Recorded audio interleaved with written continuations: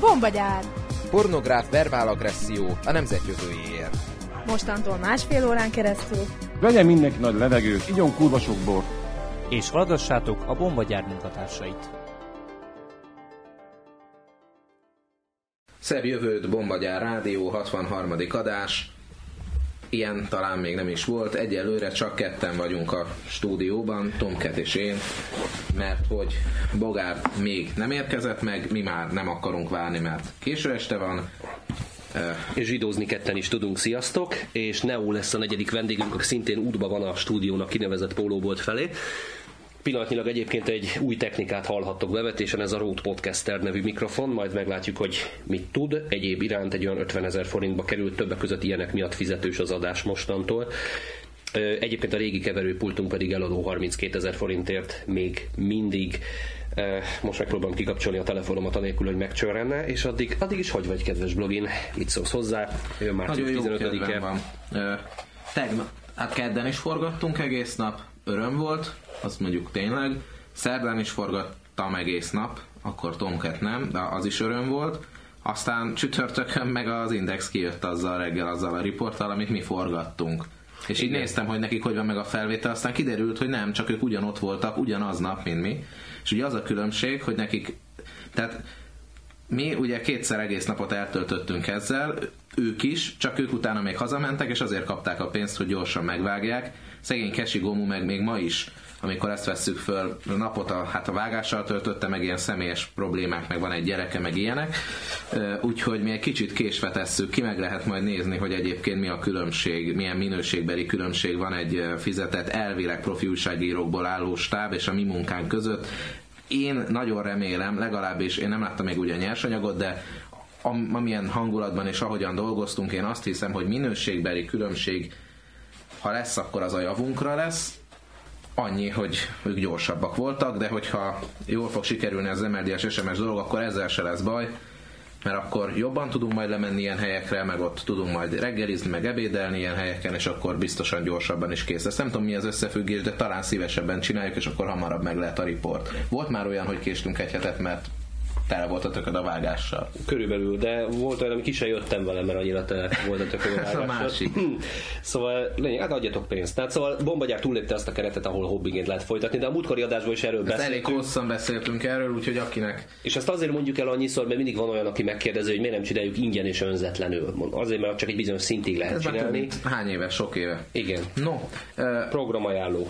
Március 15? Jön március 15. Sok-sok programok lesznek, nézzetek körül a neten, nem soroljuk föl mindet, valaki kopog, na vajon ki érkezett meg? Szerintem Gyere Bogárt be. lesz az első. És megjött Bogárt, köszönjük szépen Gyere. élő adásban, Libenbe, habtestével. Hány kiló is vagy? Becsukja az ajtót, kedves hallgatóink, Bogárt megérkezett, de mi folytatjuk a műsortervel. Tehát március 15-én az a program, hogy nemzeti ünnep van, és nagyon sokféle mindenféle gyülekezések és tüntetések és nyilván verekedések is lesznek. Bogart hozta magával a zsidói kameráját. Úgy látom, nem tudsz tőle megválni, mióta megszerezted. Ilyen a szelavi. Kapsz tőlem egy műsortervet, és megnézheted a vadonatúj mikrofonunkat lehet örülni, és hogyha beszélsz bele, azt majd hallják az De ember. vele próbáltuk ki azt, amit próbálképpen kaptuk, igen. Ja, hát már, látod, már láttad. Nem ezt egy másikat, annak jobb volt a hangereje. Teg, tegnap láttam. Ő most találkozik először. először a műsortervel, hagyjuk elolvasgatni addig. Tehát programajánlóna március 15. Mindenki gyülekezik mindenhol, a bombagyár külön megemlékezés nem tart, mert mi egészen másra koncentrálunk így márciusban. Március 15-én, mint nemzeti ünnep, mi március 21-ére koncentrálunk, ami a tanácsköztársaság kikiáltásának napja. Nem azért, mert balliberálisok vagyunk, de mindjárt rátérünk. Előzőleg ajánlanám március 16-át is annak, akit érdekel egy eh, rendőr szakértő beégése, ugyanis akkor lesz a bombaügyem tárgyalása Pesti Központi Kerületi Bíróság második emeletén, a lifttel szembe, a teremszámot mindig elfelejtem megnézni. Március 21-én a következő programokat ajánljuk kedves Nem a lift, az Paternoster. Paternoster, bocsánat. Arról már beszéltünk az előző adásban. Nem térünk vissza, igen? Paternoster, az apát Schuster, az anyád egy marha, te meg le vagy szarva. Szóval, filmvetítés 13 óra 00-kor. 21-e. 21-e, tehát jövő szombat a Bombagyár Filmklub programján a Soviet Story című film magyar felirattal. Premier előtt. Premier előtt, most ez elég kalandos lesz, mert jó, most ebben nem megyek bele, de az amerikaiak is hülyék. Majd egyszer megírom külön droid hogy ez a film hogyan jut el hozzánk, hogy eljut egyáltalán odáig, de az biztos, hogy filmvetítést tartunk, mert más nem, akkor leszedem addig torrentra. 13-án a Magyarok Háza Széchenyi termében, Szovjet Story magyar felirattal. Onnan pedig átvonulunk a Lánchídra, ahol emléktáblát avatunk, 16 óra 00-kor a Clark Ádám téren. Ugye ez az a hely, ahol mi nagyon szeretünk tüntetni, ezúttal is egy bejelentett rendezvény lesz, amire különféle nemzeti celebritások is ott lesznek, egyébként legalábbis meghívtuk őket. Az az érdekessége ennek a táblának, a Hollán Sándor féle emléktábláról van szó, hogy az egyetlen emlékmű lesz Budapesten, ami a 19-es vörös terror áldozataira emlékeztet konkrétan. És mi megemeltük ezt a jó egymázsás táblát, úgyhogy elég tiszteletet parancsoló már méretében is, és láthattátok a képet a bombagyáron, a megjelenése sem Inkább másfél mázsa az, igen. Tehát nem, nem egy ilyen kis, kis csipetnyi tábláska, amit így odanyalunk egy kis tapéta ragasztóval. Hát, már a bombagyár közössége úgy döntött, hogy elkezdem kedvezményes áron tehát igazából bekerülési költségen ezt megcsinálták, de hát ez nélkületek nem jöhetett volna létre. Uh-huh. Így van. Köszönjük a hollánék hozzájárulását. Igen, a hollán család is egy jelentős összeggel járult hozzá ennek a táblának a helyreállításához, és az az érdekes történet, hogy ugye arról beszéltünk már, hogy a fővárosi önkormányzat nem annyira szeretné engedélyezni ezt a táblát, mert hát ugye közösségi terekre nem illik ilyet rakni, és az a furcsa helyzet történt, hogy a táblát mi elajándékoztuk, bármilyen furcsa jöttek ilyen nemzeti érzelmű srácok, és mondták, hogy nektek nem engedték meg föltenni a táblát, mi meg leszarjuk. Mármint nem a táblát, hanem azt, hogy nem engedték meg, és majd mi fölrakjuk. És képzeljétek el, semmi közünk nem lesz ahhoz, hogyha valaki fölrakja a táblát. Ki érti ezt? Nem értem. Tehát így ez azért jó, mert a fővárosi önkormányzat utána nem tudja ránk verni a költ 6 órakor a Clark Ádám téren, polgári engedetlenségi mozgalom keretében kommunizmus áldozatainak emléktábla állítás körülbelül 17 óráig Na de utána se menjetek el tőlünk, kedves hallgatóink, ugyanis egy elég érdekes programra hívtak meg engem, mégpedig március 21-én van az antirasszista világnap, az ENSZ által deklarálva, van egy ilyen, hogy antirasszista világnap. Ilyenkor általában nem szabad bántani a niggereket, meg a cigányokat, még jobban nem szabad, mint máskor, és beszélni kell arról, hogy nem szabad őket bántani. Bogárt hitetlenkedve nézi a műsortervet éppen kis kalapjába, így somolyog. Melyik hír tetszik annyira?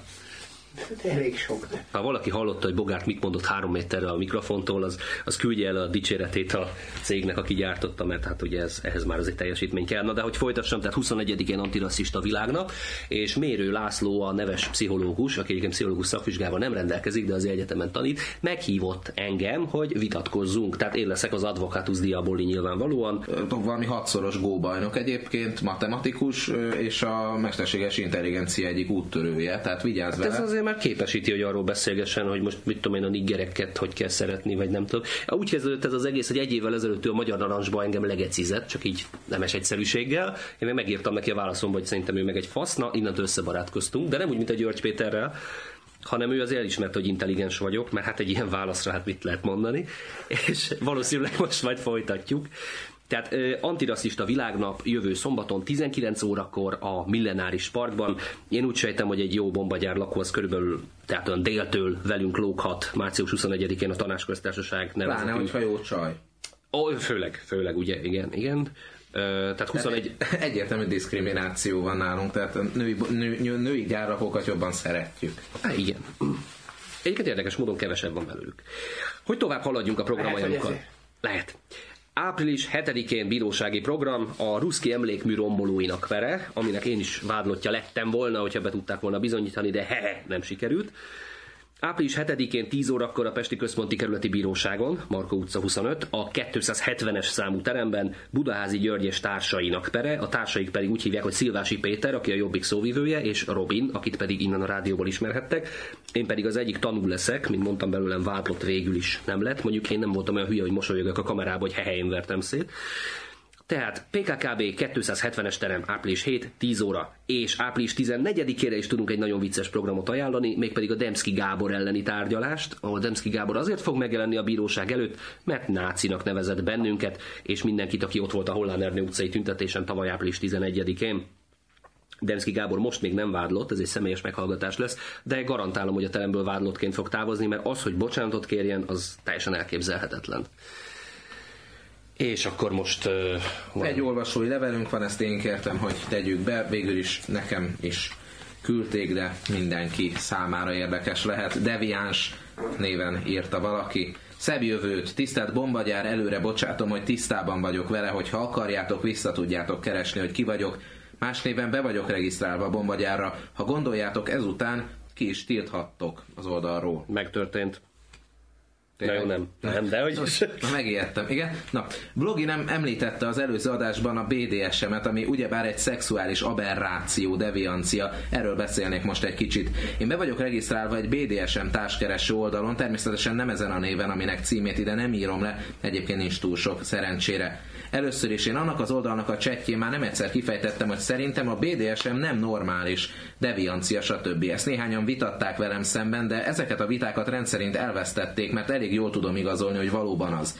Nem vagyok biztos benne, hogy génhiba okozza, mint a homoszexualizmust, vagy egyszerű pszichológiai zavar, de lényegében én nem vagyok orvostan hallgató, tehát egyre megy.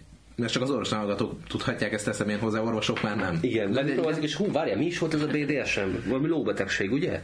Na, tehát betegség. Kicsit utálnak is ezért az oldalon, hiszen akkor te mégis mit keresel itt? Erre az egyetlen válaszom sosem mondtam, hogy én normális vagyok. És ez igaz is, magam sem vagyok, az domináns vagyok, vagy ha úgy jobban tetszik, szadista. Ezért is keresek olyan partnert, aki úgymond erre vevő. Domináns vagy domináns? Tehát ő olyan domináns, tehát így föl, fölveszi egy kis lakbőrt, vagy bőrön tapszegetes lakbőrtangát, és olyan domináns. És így, hasonlít egy kicsit egy domináns, a domináns. És így megy, a, így, meg egy ilyen kis háló egy necalisnyát, és De nem, megy a hatos villamoson. Ő domináns. Nem bántani. Figyelj, ne arra, ezek miért nem mászkálnak így az utcán ebbe, ebbe a kis ruciba? Mert Tehát van olyan csaj, akinek jó Hallgassuk végig ezt a levelet. Okay. Nem bántanék olyan nőt, aki önmaga nem élvezi a BDSM-et, tehát amikor valaki nőket kínoz, erőszakol meg, az nem szadista, hanem egy őrült, akit agyon kéne lőni. Igen, tudom, ha Phoenix ezt elolvassa, azonnal javasolni fogja a tarkólövésemet, és lehetőleg egy vödör szart sem kérek a nyakamba, csak azért, mert kicsi elferdült személyiség vagyok. A BDSM kölcsönös beleegyezésen, bizalmon alapuló kapcsolat, tehát eléggé idegesítő, ha szadistákról beszél valaki nem erőszak kapcsán mert bár valóban van a neten és a világban néhány idióta, akik magukat szadistának mondják, és így vadásznak félrevezethető nőkre, de őket a tényleges domok rohadtul utálják, mert úgymond rontják az amúgy sem jó képet. Amiért még írtam ezt a levelet, az blogin nőnemű ismerőse, akinek ugyebár van az a mazoista szubmisszív barátja. Az a kapcsolat garantáltan, biztosan, teljesen működésképtelen. Ha a fickó csak attól izgul fel, hogy kikötözik, elverik, és a csaj szexuális értelemben normális, akkor biztosan nem összeillőek. Persze elviekben a fica Egyébként a BDSM-nek nem csak egy kiegészítő része a szex, ahogy azt Blogi mondta, hanem egy nagyon fontos része, bár lehet anélkül is. Szerintem például anélkül nincs értelme. igen, ezért fizettek, igen, igen. Értelme azzal sincs, de úgy nekem és hozzám hasonlóknak jó. Ha lenne Magyarországon szadomazoizmus büszkeség napja, mondjuk egy felvonulással és szerveznétek ellentüntetést, én veletek mennék ki. Ugyanúgy, ha buzik ellen tüntetnétek megint, akkor is. Mert az, hogy valaki egy szexuális kisebbség része nem látszik a külsején, és optimális esetben a viselkedésén sem. Mármint a hétköznapi viselkedésén. Az pedig, hogy a négy fal között mit csinál a párjával, bizonyos szintig szintén nem tartozik senkire. Persze, aki pedofilként hivatkozik betegségre, stb. beleírnák a személyébe, egy rossz szavam nem lenne. Akkor sem, ha mellett mondjuk kizárnának olyan állás lehetőségekből, mint rendőr, tanár, stb. Teljesen észszerű, ha kinyírnának. Persze már kevésbé örülnék, nem díjazom a túlzásokat, és a kis életemet sem szeretném idő előtt elveszteni. Bocsánat.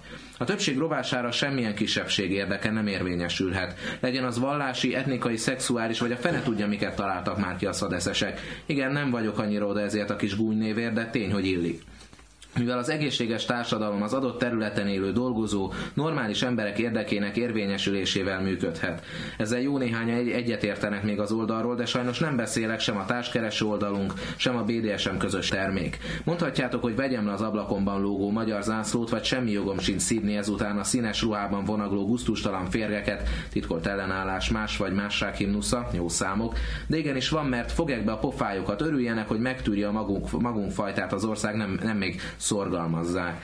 Ha az én gyerekem, ami még nincs egy magánéletben BDSM-es vagy homoszexuális, de oktatásában teljesen normális tanár oktatná, még így is lehet, hogy kivenném abból az iskolából. Nemrég írt a Blik nevű szennylap egy cikket egy BDSM-es tanárról, akinek az esetleges elbocsátásával akár egyet is értenék. Nem tudom, ebben van valami kivetni való, vagy hol kezdődik ez? Én egyszer írtam erről egy cikket a meleg felvonalás kapcsán, és mondtam ö, akkor, hogy nem érdekel az, hogy kinek a magánéletében mi a, milyen szerepei vannak, és föltettem a kérdést a a, azon hőzöngő rétegnek, akik, akik talán egy kicsit, sőt szerintem túlzásba viszik, tehát Tehát mi az, hogy deviancia? normálistól eltérő. Mi az, hogy normális? Na ez az, amit nem lehet. Hát a több, többségi. Ö, csak egy mondat.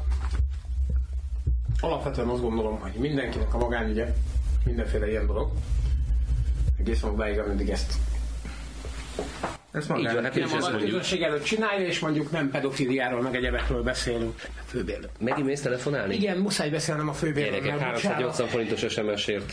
Küldje majd SMS-t, jó? Kettőt. Kettőt. Na, Alul. jó, hát most ez a hülye balliberális geci végre kimegy. Most akkor beszéltünk róla, hogy a rohadt mocskos niggerek azok, tudod, megbasszák a rohadó gyerekeiket. Milyen gusztustalan. Na szóval visszatérve, bocsánat, szóval a magyar kultúrában is azért főleg a délvidéken ugye volt ez jellemző, hogy igen, fiatalon mentek férjhez a lányok, tehát 12 éves lány, mondjuk Mohács környékén még ez ma is előfordul, bár ugye ez már egy másik név. Szóval ö, 12 éves korban már bizony mentek férjhez, még a 19. század, a 20. század első felébe is a, a jánykák, és hát illet mondjuk egy olyan 30 éves korra már többszörös szülének, azaz nagyszülőnek alapvetően lenni. semmi probléma, problémát nem látok, hogyha ugye ez kulturálisan így működik, meg akkor azért a nő szerepe és a férfi szerepe is más volt, és ennek más célja volt, és A nő mosogatott, tudod, mi furcsa volt? más, más, Meg más, amikor mondott más valamit a férje, akkor az úgy volt. Gyerekek, annyira szarvilág volt tényleg. Nem is értem. Megjön a Neo, igen, ajtócsapkodás és telefoncsörgések. Szervusz, kedves Neo, gyere be, már adásban is vagyunk, úgy jó hangosan vág be az ajtót. Tudod, hogy ezért, ezért az adásán már fizetnek, tehát ez, ezt úgy gyere. Az ott kint Bogart, az a nagy darab, aki ott telefonálgat. Nem mutatkozunk Kicsit, kicsit kommunista, de jó fej. Igen. Gyere, ült körbe a legújabb Road Podcaster mikrofont. Most már nem kell össze-vissza kötögetni magunkat, most már e, ebbe bele lehet Ebben beszélni. nem hangzik bele, ahogy én rákcsálom a rágógumit. De az belefog. Ja, hogy fokhagymát tettél, és most rágógumit is. Hogy Így van, nagyon finom. Te ide érzem a foghagymát. Kedves hallgatók, ezt én halljátok, érzitek? De- nagyon jó mikrofon, lehet, hogy ezt is fölveszi. Aki vámpír és hallgatja az adást, az húzódjon Szerintem ülj távol. oda, mert a Bogártot ott fog ülni, és ő ilyen nagy darab. Ne tedd rá a kalapját a mikrofonra. No, Nagyon jó. A műsortervet, majd olvasd el a szünetben a műsortervet, előbb-utóbb eljutunk odáig. Pillanatnyilag arról van szó, hogy BDSM, szex és uh, ilyesmi. De, igen, hát mi, ez, mit gondolsz, téged már kötöztek meg? Nem tudom, a kurucinfó jobban tudja szerintem. Ja igen, igen, te, ott már, te írtam, voltál de az nem BDSM. kakofil. Az nem BDSM. Tehát te De, de, de a, a kakofília, tehát az, az katofília. igazából, az, az, az a BDSM része. Lehet, tehát mondom, ott, ott azért szintek vannak, tehát gondolom, hogy ezen gyárlakunk annyira nem nagyon rágja meg más vagy avagy a saját örülékét, legalábbis remélem. Nem, igazából 380 forint gyerek. 380 nekem, forint. nekem, nekem azzal mondom, semmi problémám nem. Ő, ő normális Tehát neked nincs problémád azzal, valaki megrákja a saját szarát, már nem Hogyha ezt, ezt úgy teszi, hogy, hogy a saját kis környezetében olyanokkal, akiknek ez tetszik, és tudja magáról, hogy ez betegség, nem tehát például ezen, én tudom melyik weboldalról beszél, legalábbis sejte, én egyet ismerek, és azt is csak azért, mert ezzel a lányjal beszéltem, ez előző adásban meghallgatható, hogy miért. Én ott próbáltam ezen a chatten beszélni egy-két ilyennel, hogy, hogy, hogy van-e ugye megoldás, tehát ott csetjük is fizetős, tehát azért elég, elég jól nyomják a gyerekek. Úgyhogy mondom, hogy ez, ez saját kö- körben megy, magát a weboldal túlzásnak tartom, én ezt már, már a, a reklámozásnak érzem, pontosabban a közszemléletételnek, de magát az, hogy ő maga emberként mit csinál, hogyha tisztában van vele, és ez nagyon tetszik, hogy ő azt mondja, hogy például lehet, hogy nem örülne, hogyha a tanár lenne BDSM mániás, mint ő, Nem, azt mondja, hogy őt nem érdekelné, csak ne legyen tolerancia harc. de oktatásában teljesen normális, még így is lehet, hogy kivenném az iskolából. A gyereket, nem a tanárt. Így van, ezt mondom, hogy, hogy, őnek, hogy ő azt mondja, hogy, hogy lehet, hogy még, még így is, de teljesen normálisan gondolkodik. Volt, volt egyébként a mi hetero felvonulásunkon is meleg, vagy úgynevezett buzi. Tehát ő velünk vonult, mert neki az nem tetszett, aki ott mutogatja magát. Amúgy meg ő így sikerült. Megjött nem magát. örülünk, de hát ez van. És lemerült a telefonom. Ez Hát, nem csodálom, sem. ennyit csörgött akkor. Na, szóval, te, téged kötöztek már meg? Hol? Hát, na, rutinos a srác. Jó, hát, Rendőrségi az araboknál, annak de várj, bocsánat, az araboknál úgy tudom tök elfogadott a homoszexualitás. Tehát van nekem egy ismerősöm, ő angol tartalékos katonaként behívták, egyetemistaként jelentkezett Reserve Army, mit tudom én, ott ez van, megkérdezte az egyiket, hogy te itt mind buzik vagytok, tényleg ilyen gusztustalan szarok vagytok, akkor tényleg lebombázunk és kész. És így mondta, hogy ah, woman for babies, man for pleasure és ez volt a hozzáállás. Ezek után volt egy ilyen akciójuk is, na most ugye mi a Reserve Army, ugye nálunk ilyen nincsen, de próbálták bevezetni. Ennek az a lényege, hogy ilyen életerős fiatalember jelentkezik, hogy sokkal még szeretnék katona lenni, de nem annyira, hogy fölírják a nevét, hogy ő szeretne, és ha valami gebasz van, akkor behívják, és akkor kapja meg a kis kiképzés, meg minden, és csinálja, amit akar. Egyébként meg kap egy éves elég komoly díjat azért, hogy ő neki föl van írva a neve. Ha nincs háború, akkor nyert egy csomó pénzt. Hát megkapták így három-négy kommandó alakult, hogy te mész A célcsoport, B célcsoport, stb. valami muftitot el kellett kapni. Na, így négyen, öten rárúgták az ajtót, ilyen British Army mindenki le a földre, stb. Na most az űrgét azt úgy éppen úgy barátkozás közben találták meg a, a barátjával. De gondolj bele, szóval így a környék legfélelmetesebb bandita vezére volt, így valahol Kabul mellett valami település, berúgják az ajtót. Ez egy pornográf verbál agresszív, hogy elmondom pontosan, hogy mit láttak. Tehát az űrge éppen segbe rakta a haverját, aki pedig verte az ő farkát közben. Na, szóval Saddam Husseinnek volt egy ilyen rendelete, mikor elrendelt, hogy minden férfinak naponta fürödnie kell, de a nőknek kétszer, mert büdösek. Így hangzott a rendelet. Ez egy kormány rendelet volt Irakban. Korrekt. Hogy nincsenek buzik az araboknál, sőt, tudnak mondjuk, mondjuk árkot ásni. Ezt így kijelented az árokásásból szinte teljesen biztos vagyok az, hogy vannak-e szexuálisan másképp gondolkodók, vagy nincsenek, ezt de, nem de, tudom kijelenteni. De mit csináltál te hanem a buzikat kerested? Tehát nem értem, mit tudtál csinálni?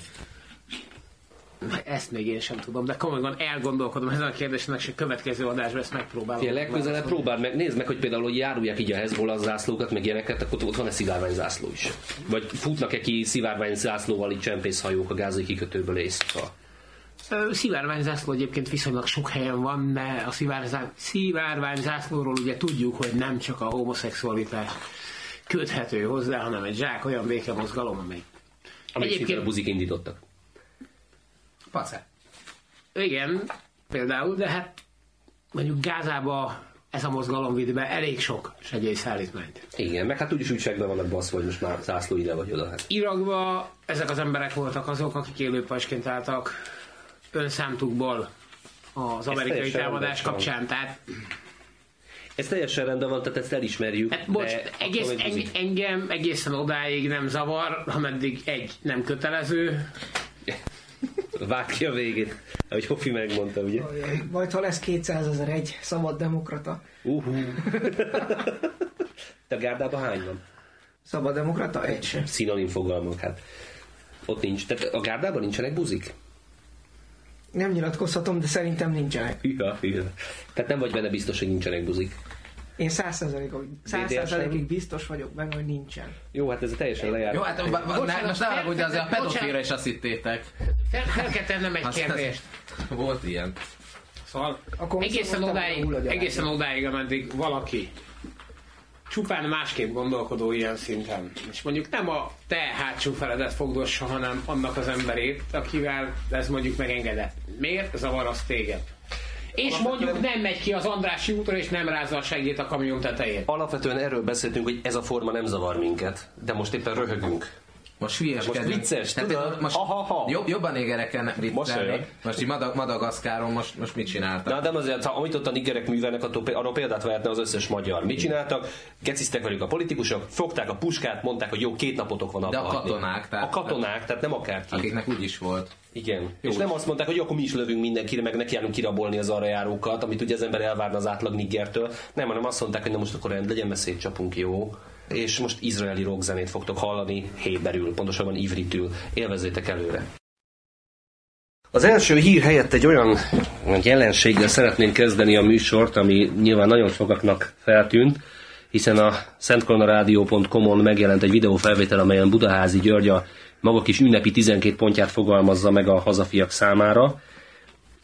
Hát igen, ő van ott, és elmondja 12 pontban, hogy mit szabad és mit nem szabad, illetve kell vagy nem kell csinálni egy hazafinak. Na most ezt fogjuk kritizálni. Most előre bocsátom, hogy Bogárt igencsak balliberális ebben az ügyben is. is.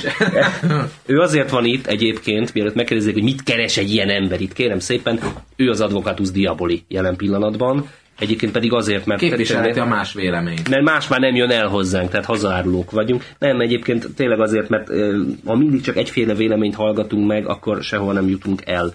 Tehát vannak olyan emberek, akik balliberálisnak nevezik magukat, de egyébként meg kurvára nem azok, ugye, hogy általában ezt a szót érteni szoktuk.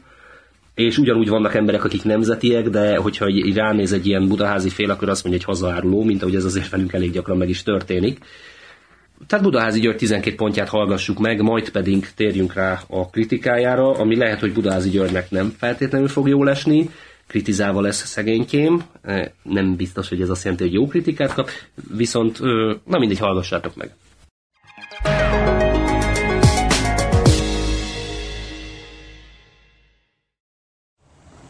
Hazafiak! Közeledve március 15-éhez én is összeírtam saját 12 pontomat a magam számára. Így hangzik. Egyes. Nem ünneplek a nemzeti ünnepeken, mert jelenleg nincs mit ünnepelni. És a nagy ünnepléssel pont azokat a hősöket köpném szemen, akikről az ünnepek szólnak. Kettes. Nem éneklem többé a himnuszt, csak győzelmek alkalmával. Hármas.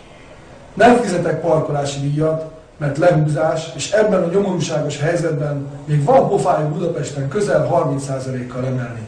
Egyébként is, amit csak lehet, nem fizetek. Négyes. Megdobálom a hazárlókat mindennel, ami a kezem ügyébe kerül, mert megértemlik. Még akkor is, ha törvényel akarják tiltani. Egyébként is nagy ívben köpök a törvényeikre. Ötös. Maszkban arctanul tüntetek az állandó rendőrségi kamerázgatás miatt. Hatos. Nem megyek be a rendőrök kordonjai közé. Nem leszek karámbazárt állat. Hetes. Ha előállítanak, mindenért panaszt teszek. Feljelentem őket, megtagadom az együttműködést, és igyekszem olyan pimaszul viselkedni a hatalom szervével, ahogy csak lehet. Nyolcas. Nem segítem az idegeneket.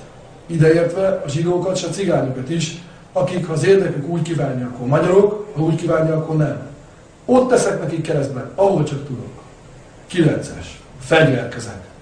Tízes. Nem vetem el az erőszakot. Sőt, egyenesen szükségesnek tartom. Tizenegyes. Nem hagyom, hogy az országomat többszörösen tönkretevő mocskok még egyszer élve megúszszák. Tizenkettes.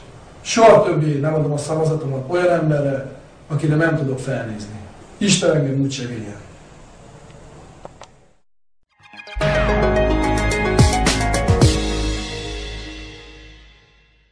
jön az, hogy te elmondod, hogy paraszt. Nem, én nem mondom azt, hogy paraszt, mert nem bántom a földművelőket. Jó, Jó. de az előbb, előbb már felvettük ezt a műsort, csak lefagyott, és akkor most újra kezdtük, akkor még Igen, nagyon... és akkor megkaptam a Neótól a magamét, de hogy ben sajnos, nem sajnos, tehát abszolút egyet kell értenem, és azt gondolom, hogy nem kívánom bántani azokat, akik abból élnek, hogy a földből próbálnak Na. megélni. Legyen az, hogy elolvasom pontonként ezt, Legyen a, az. ezt a dolgot, és akkor minden pontot külön-külön beszélünk meg, mert tényleg beszéljünk, párbeszéd, és akkor talán valami jó kisül a dologból.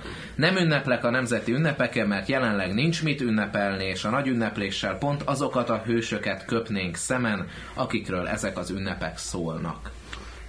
Na most ebben van is valami, meg nincs is. Tehát az imént azt mondtad, hogy akkor mi, a, minek van a nemzeti ünnep, hogyha nem ünnepeljük, mert attól még ünnepelni való van. Nem, én azt gondolom, ezt most is mondom, hogy ez így nekem egy kicsit agyilag szegény embernek az elmondása, mert a nemzeti ünnep az ugye arról azért van, valami miatt ez volt, valami miatt ez kialakult, és ha nem aktuál politizálunk, hanem emlékezni akarunk, akkor arra tökéletesen megfelel. Az, hogy nincs mit ünnepelni, jelenleg nincs mit ünnepelni március 15-én, március 15-e, vagy október 23-a, vagy augusztus 20-a, ez egy olyan ünnep, ami a maga szintjén és a maga helyén örök. Ebből adódóan ezekre az emberekre igenis meg kell emlékezni.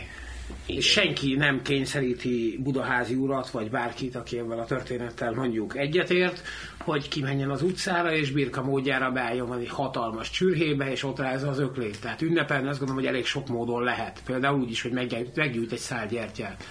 Vagy elővesz egy kötetet, és elolvas egy Petőfi verset. Egyébként, ha már itt tartunk, mi úgy ünnepeljük most március 15-ét, mire ezt az adást hallgatjátok, a bombagyára, illetve a T-bombára is kikerül egy nagyon érdekes könyv, egy elég rövid könyv, de nagyon érdekes, Vajda János egy Honvéd naplójából című írás, amit az 1860-as években már a kiegyezés környékén vetett papírra arról, hogy hogyan is zajlott ez az egész. Március 15-e, de utána 16-a, 17-e, és így tovább, és utána szabadságharc meg ilyenek és bizony nem egészen arról van benne szó, ami, ami benne van a történelem könyvekben, hogy itt minden csupa dicsőség volt, volt ott más is, egy nagyon érdekes olvasmány. Én nem értek egyet azzal, hogy átértékeljük a nemzeti ünnepeink jelentőségét, illetve ezeket a napokat bár nem csak mi tennénk ezt, már ezt átértékelték mások erőszakosan, de igen, szóval én is úgy érzem, hogy valóban nem felelünk meg hőseinknek, vagy nem tudunk hozzájuk fölnőni, egyébként ők ezért hősök, de szóval amit így mondott, igen, van is benne valami, meg nincs is. Maradjunk annyiban, hogy most mi, Ér, értem, mi, mit akar mondani. a történetben, hogy a nemzet nem ünnepek a nemzeti ünnepeken, mert jelenleg nincs mit ünnepelni. Ezzel nem értek egyet. Hát ez így nem így van. Ez egy kommunikációs csőd, amit itt látunk. Rosszul mondta, igen. Körülbelül a másik, ami nekem erről eszembe jut, az az, hogy ezt a nemzetet amúgy is már poligyarázták, meg eltörték a gerincét, meg mit tudom én, legalább évente párszor hadd érezzük azt, hogy igenis van mire büszkének lenni, mert van jó pár ember, aki csak ezeken az alkalmakon, amikor kimegy és látja, hogy nincs egyedül, akkor érzi jól magát. E, igen, csak hát szóval miben nincs egyedül? Kődobálásban, autóborogatásban, vagy abban, hogy emlékszik valaki? Nektek ezt tanítják? Van egy ilyen könyv? Tehát így megkapjátok ezeket a kliséket, és azt Bo- el nem, lehet mondani? Rövidebb kérdés, ott voltál? E, ott. És mit láttál? Hosszú ideig egy Mami 645-ös fényképezőgépet három darabba törve, mert egy ilyen 16 éves Tomketet idézve, illetve bocsánat, megint idézve, egységsugarú. Nem, azt én mondtam. Vagy úgy döntött, hogy én egy mocskos szemét liberális állat vagyok, aki felkeltem Tel Avivnak fényképez, és ketté kellett rúgja a fényképezőgépemet, és utána összetörtem a fején egy ilyen piros fehér útterelő rúdat, és megkérdeztem tőle, hogy paraszt. Bocsánat, barom! Szóval elnézést. Ne fényképezd az arcomat. Ember, kijöttél, nem? Azért jöttél ide, hogy vállalod a véleményet. És olyan rohadt bátor vagy, hogy belerugsz egy fényképezőgépbe. És kezedben a sörös doboz, ezt hívjuk ünneplésnek, bocs. Igen, Ez az a baj, egy darab ember, egy darab egység Igen, csak ember. hogyha egy darab egység sugarú lett volna abba a tömegbe, akkor azt mondom, hogy neked van igazad. Csak az a baj, hogy ötből három egység sugarú, nem, és az lassan már azok nem mennek ki ünnepelni, De hát akkor ennyivel a cigány, hát akkor, akkor, akkor, te is ugyanúgy nem kéne védelmet vedd a cigányokat, mert ott meg ötből, ha nem is három, hanem 4,9 egy szar szemét, alsóbrendű állat. Bocs, ha valaki kimegy tüntetni, az erkölcsről beszél, meg a morálról, meg hitről, meg minden egyébről. Miért a cigányok nem ezt csinálják? elmennek lopni, aztán arról beszélnek, hogy őket mindenki bántja, meg hit, meg erkölcs. Meg egyébként nem hát is hasonlítanám össze, mert aki kimegy tüntetni, az egy dolog, hogy ki miért megy ki. Van, aki van, és ezt már sose tagadtuk, van, aki balhézni megy ki, meg van a szónok, és van, aki a kettő között van, mert ő nem azért megy ki, amit, amit a szónok elmond, hanem valami egészen más, más dologért. Lehet, hogy ő nem azt vállalja Ő megvalósítás maradjunk ő, ő úgy gondolja, hogy neki ott kell lennie, mert mást, mert nem, nem tudja, hogy mi az az út, amiért tehetne valamit, mert az tény, hogy rossz. Ő neki, ő neki nem... A bombagyának az a célja, hogy a adjon tömeg, egy új út, bocsánat, út lehetőséget. Tehát a tömeg és a hordószónokok adják meg az utat, vagy az, ameddig eljutsz saját magadban de ezek az emberek nem jutnak el sem eddig. Ezek odáig jutnak el, hogy van valami ellenség, mert ellenségkép az kell, és sokkal egyszerűbb rombolni, mint építeni. Nagyon sok ilyen van, és nagyon sok csapódott így a nemzetiekhez. Lássák, Kurucinfo is ilyen, ugye előbb-utóbb átvették rajta az uralmat. Tehát nagyon sok emberke van, aki szeretne alkotni, és azért megy ki, mert tényleg. Most gondoljunk bele, 2006-ban, amikor elkezdődött, a kutya nem akart köveket dobálni. Jó, volt egy kettő, de alapvetően nem, nem volt jelentős. Abba a pillanatban, hogy a rendőrök... Ide szúrnék be egy nagyon gyors epizódot, a Blahán, ez a második nap volt 19-e. A Blahán, mikor nekiálltak a sarkon lévő smacsot, vagy mi a francot fosztogatni, akkor bizony a piros-fehér-zöldek cibálták ki onnan az embert, és ütötték le. És ugyanez volt a tévéostromnál is, amikor berohant az űrge, és próbálta fölborítani a kávégépet, hogy kiszedje a pénzt, akkor többek között én is ott voltam, amikor lefogtuk és átadtuk a rendőröknek, meg volt még egy pár ilyen, tehát ez nem ezzel kezdődött. És gondolj bele, hogy amit Ez azzal is... kezdődött, várjál, hogy azok, akik, akik, azok, akik normálisan... állítom, hogy ebben kezdődött. Én csupán azt Most állítom, ez van, ez tény. Én csupán azt állítom, hogy azok az emberek, akik egyszerűen egy kicsit messzebb állnak attól a fajta gondolkodástól, amit mondjuk ti képviseltek, ezek az emberek nem azt fogják észrevenni elsőre, hogy lehet, hogy a Tomcat mégse egy rasszista barom, lehet, hogy vannak hülye dolgai, de elég sok dologban, ha nem is teljesen igaza van, de legalább el kellene kezdeni gondolkodni rajta. Bocs. Nem lehet azt mondani egy tüntetésen, amikor azt fogja tapasztalni az ember, hogy ah, én inkább már nem megyek ki, nincs szükségem van, rá. Ezért tűnt el a tömeg, ezért tűnt el ez a százezres tömeg, ami a Kossuth téren volt, mert nagyon hamar jöttek ezek a nagyszájúak, most nem pont a Budázira gondolok, ennek is elég nagy a szája, de azért ő nem mindig mond hülyeséget, még hogyha nem egy kommunikációs zseni, meg nem egy stratégiai De hát- zseni, meg, meg nem zseni, ugye? Én, én, egy, én egyébként azt gondolom, hogy a hatalom számára március 15-én a lehető legnagyobb pofon az lenne, hogyha kimenne 5000 ember, és 5000 szár virágot letenne a Petőfi szoborhoz, majd azt mondaná a szónok, hogy akkor most mindenki menjen haza. Mi Hát próbáltunk összeszarná ilyeneket. magát az összes kivezényelt kommandós, hogy akkor most mi a tökér Ha vagyok megnézed, így. Egy francokat, A bomba már elnézést. Mondd Nem, csak. szervezünk, vagy hát, hogy mondjam, van közön néhány ilyen rendezvénynek a szervezéséhez, most konkrétan március 15-én. A rendőrség minden olyan csoporttal, aki nem tartozik valamilyen szinten a kormányhoz, ki szottul ellenséges. Hihetetlen, hogy milyen intézkedéseket van pofájuk hozni. Olyannyira, tehát odáig elmentek ezek a dolgok, hogy a BRFK érintett osztályáról volt olyan ember, aki azt mondta, hogy na, most akkor én nyugdíjba megyek, mert én ehhez nem adom a nevemet, hogy ilyet megcsináljak egy rendezvény biztosításakor.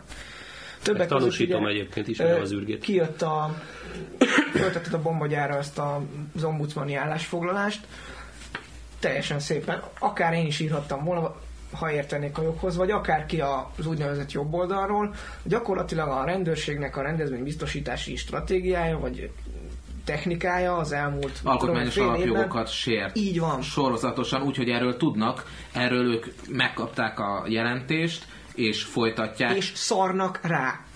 Gyakorlatilag olyat jelent ki a rendőrség, hogy neked A pontból nincs jogod elmenni B pontba egy adott napon, mert csak. Azért, mert, Mert ezek tudom a- én, mert, mert így Erre, erre egyébként az ötödik kerületi polgármester Rogán Antal azt mondta, hogy már pedig kérem szépen, vagy kitiltunk minden rendezvényt a kerületből, vagy a rendőrség tisztességes módon biztosít, mert olyan Nem, nincs, Jaj, ezt mondta, Istenkém. nem ezt mondta a Rogán. Nem, a Rogán az azt mondta, hogy bizonyos rendezvényeket ő ki fog tiltani. Ő ezt mondta, ő pontosan megmondta azt, hogy ő lényegében benyalt a Gyurcsánynak, még ha nem is ez volt a szándéka, lehet.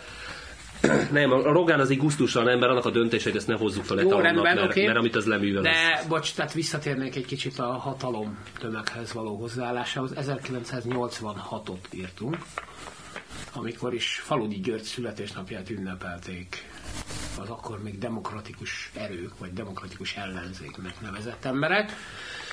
És a Jurtasz, akkor még Jurta színházban, ahol a Romhányi, a TGM és mindenki egy kupacban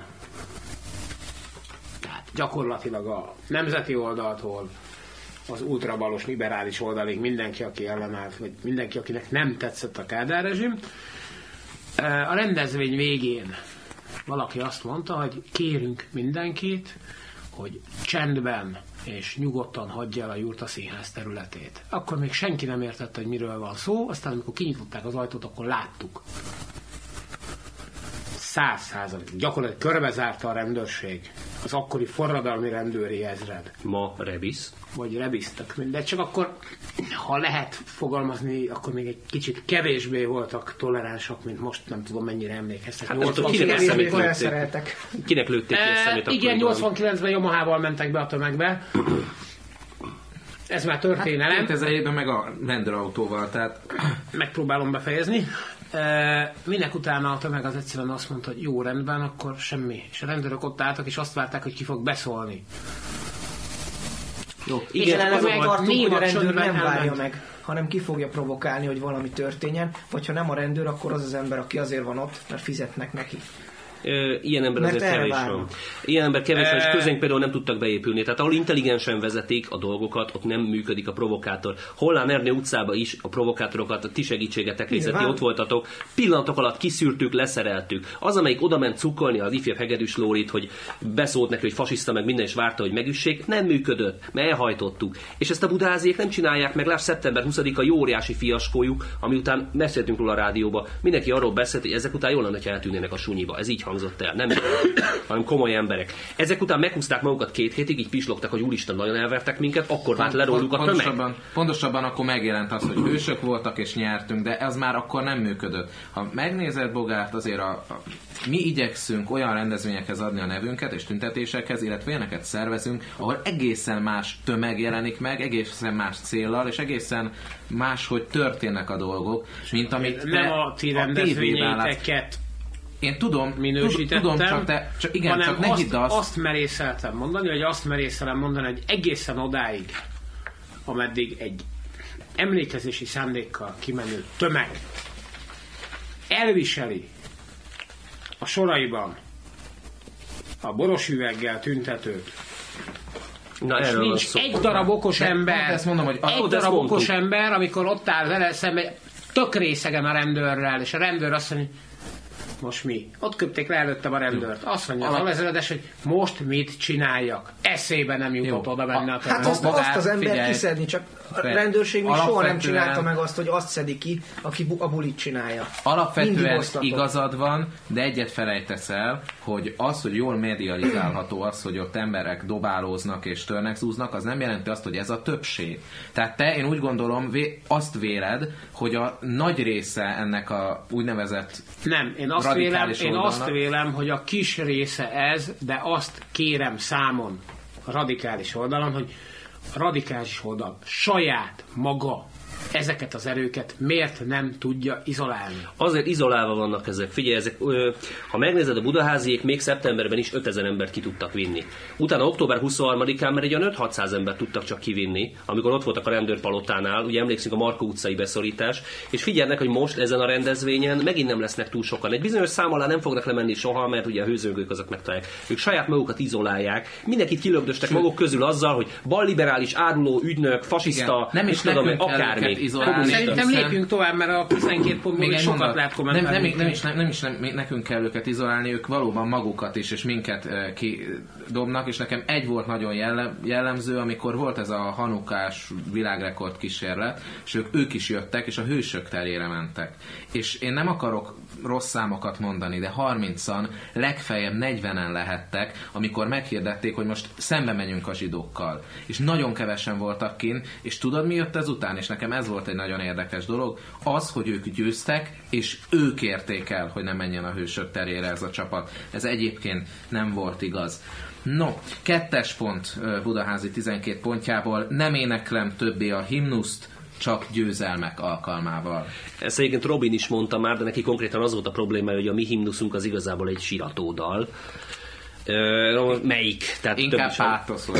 Egy kicsit túl pátoszos talán, de igaza van. Tehát jó lenne, ha lenne egy győzelmi indulónk. Van magyar győzelmi induló, a 48-asokat leszámítva? Van olyan dalunk, ami azt mondja, hogy de kurva jó magyarnak lenni? Igen, a szép vagy gyönyörű vagy Magyarország, amit egy zsidó írt. Hoppá. Ö, Miért, miért, miért baj az, hogy zsidó írta egyébként? Máté, Máté Péter. Mi, tehát Olá Ibolya, amelyik. Jó, Olá Ibolya az, az, az, az, az, az, más, azért nem ő írta, hanem a gesztés, azt is lopta, és a szar. Nem. A Máté Péter az egy írt ebből a, igazi... milyen jót átírást csinált ebből a Tyereskova. Igen, nem szóval a Má- Máté Péternek ugye... a- Ami az- egyébként az egy, 70-szer valós. az egy alapműve. Úgyhogy nem, nem az a gond.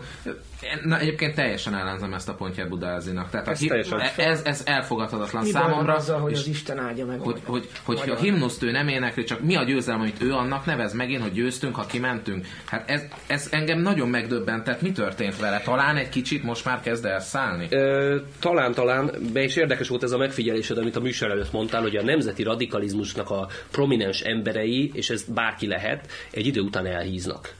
És tényleg így mi is elhíztunk. Ö, Érdekes dolog ez a hozzáállás, hogy nem éneklem többé a himnusz, tehát a himnusz az egy összetartást szimbolizál, és de, de, de most mit? Tehát most kijelenti 300 év után Budázi György off Diósd, Count of Pest megye, vagy nem tudom, hogy most akkor a himnusz nem. Hát de, de kinek, kinek mondta ezt, kinek találta ki, miért, mi az indoka? Megmondom, mi az indoka, úgy gondolja ő, hogy az valóban egy szép alkalmakra tartogatandó dal, aminek meg kéne a, ugye a méltóságát. Ebben egyetértek, csak itt már megint egy kommunikációs csődről beszélünk, mert ez képes úgy megfogalmazni, hogy én állítom, hogy a magyar állampolgároknak a 99%-a, ideértem azokat, akik nem csak hogy állampolgárok, hanem tudják is, hogy mi az, hogy magyarnak lenni, azok mindig néznek rá, hogy öcsém, te hülye vagy. Fel, felsziszennek. Nem, szóval ez, ez, amit kimondott, ez így, ez így, és értem, csak, csak mégse értem meg.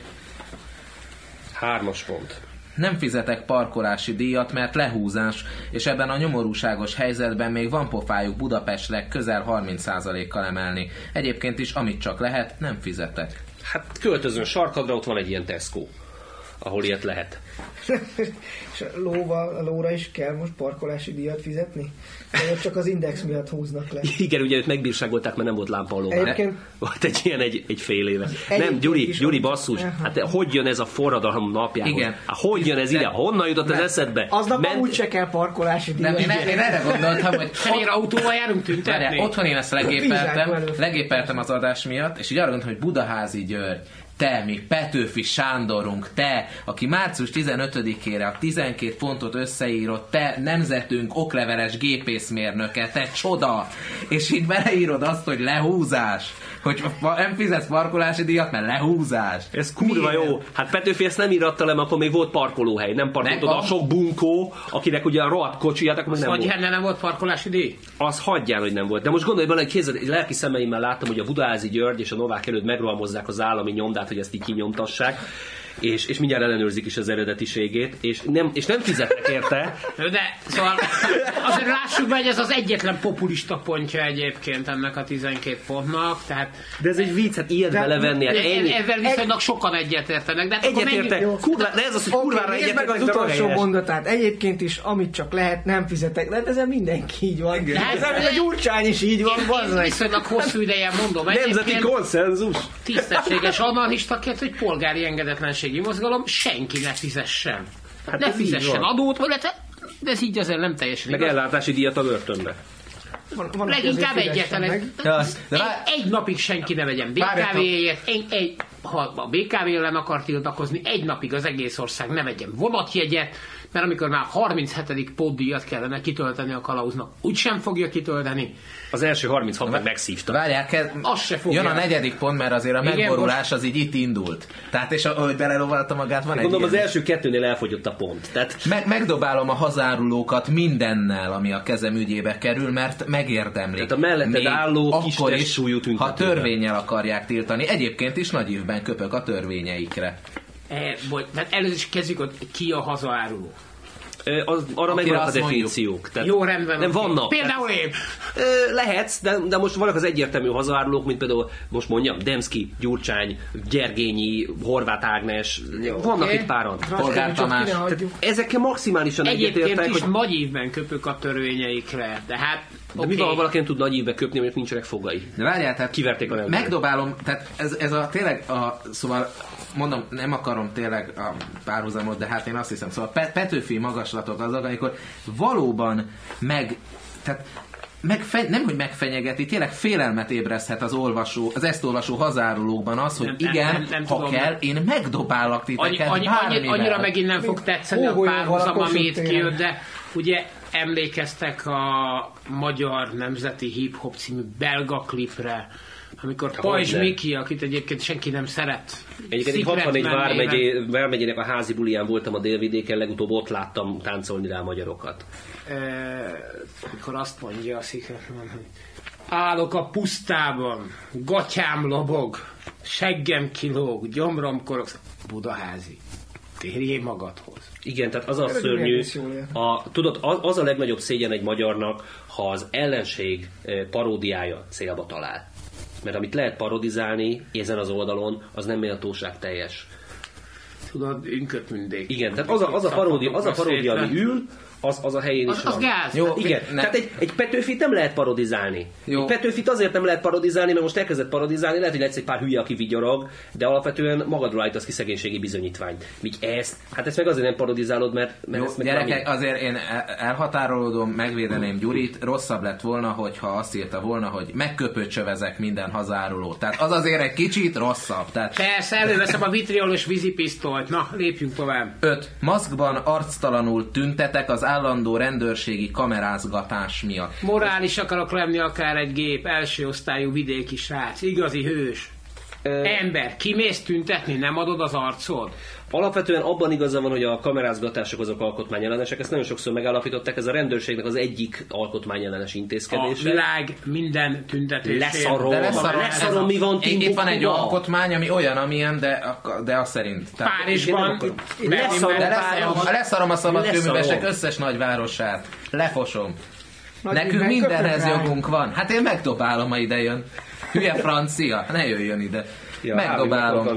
Nem érdekel, ha törvényt De írja. nem tényleg, szóval miért, mit kamerázgat? Tehát Angliában pont a, múlt, a múltkori adásban volt egy, egy hírünk, hogy Angliában már a, mindenhol kamera van. Tehát ezt tudjuk is, már a WC-n is kamerázzák őket. Big Minek? Brother Show. Big Brother, na most itt nekem ne csináljanak Big Brother show-t. Hát igaza van, hát ha én kimegyek tüntetni, engem ne vegyenek nyilvántartásba, hogy én ezért tüntettem. Ez már rég, régóta küzd ezért egyébként. igen. Gyuri, ezzel egyet, egyet Ez maximálisan. E, ez remek, hogy ne e, tehát, hogy ne rögzítsék a tüntetéseken résztvevőket, illetve a képeket ne lehessen felhasználni ellenük. Ez egy teljesen jogos követelés. Igen, de nem lehet felhasználni, De- akkor minek filmezi? De maszkban, arctalanul. Igen, Az azért nagyon, igen. nagyon vicces lett volna, Igen. amikor Petőfi Sanyi bácsi kiáll. De a kamerázták volna úgy elhiszed? és mit csinál? Eltakarja a fejét egy szépen matyúhimzett Mondjuk az a Petőfi fejt nem is lett volna nagy baj, ha eltak... Mindig. Azért tegyük hozzá. Ez tény. De azért te sem vagy Jó, figyelj, én most már mit tartom? 56-ban az AVH-nál hány egyetemista takart el a nem, fejét, nem ne csak Homéros. Shakespeare és Molière nem létezett, hanem Petőfi sem, majd erről foglalkozom a bombagyáron. És Na. azt, azt is kitalálták. Egyéb iránt nem tudom, ezek szerint nem nagyon járt ki tüntetésekre, csak elő szokott az fordulni, hogyha ne Isten valakit kiszúrnak egy ilyen tüntetésen, leadják a tévébe az arcát, csak egy pillanatra látszik, és mondjuk a főnöke a főnöke nézi a műsort, akkor lehet, hogy másnap, ha bemegy dolgozni, összeszedetik vele a cuccát. És nem csinál Igen, semmit, csak kint igen. volt. Többek között velem is előfordult ez. Nem kívánom. És nem csak vele, tehát vol- van még a bombagyárban olyan, akit azért rúgtak ki, mert egy tüntetésen ott merészett lenni. Ott volt, nem az, hogy ezért bombákat dobált meg, autókat borogatott. Egy rendes békés Egyszerűen tüntetésen. kiment. Csak a főnök azt mondta, hogy hát nem köl. Igen. Elnézést kérek, 1989 előtt egy tüntetésen részt venni, az, az esetek 80%-ában egyetemről való De kizárással. most nem ez van. Ez kurvára nem érdekel, tehát De ez 89 elvileg volt egy most rendszerváltás, 2009 vagy van. mi, mi volt? Mi, mi, mi, Gangsterváltás. Gangsterváltás. Igen, és... Egy, egyébként én nem ebben látom az érdekesét ennek a pontnak. Valóban, mondom, én értem, és egész jó. Az a baj, hogy nehezen... Tehát e- e- ez se jó reklám.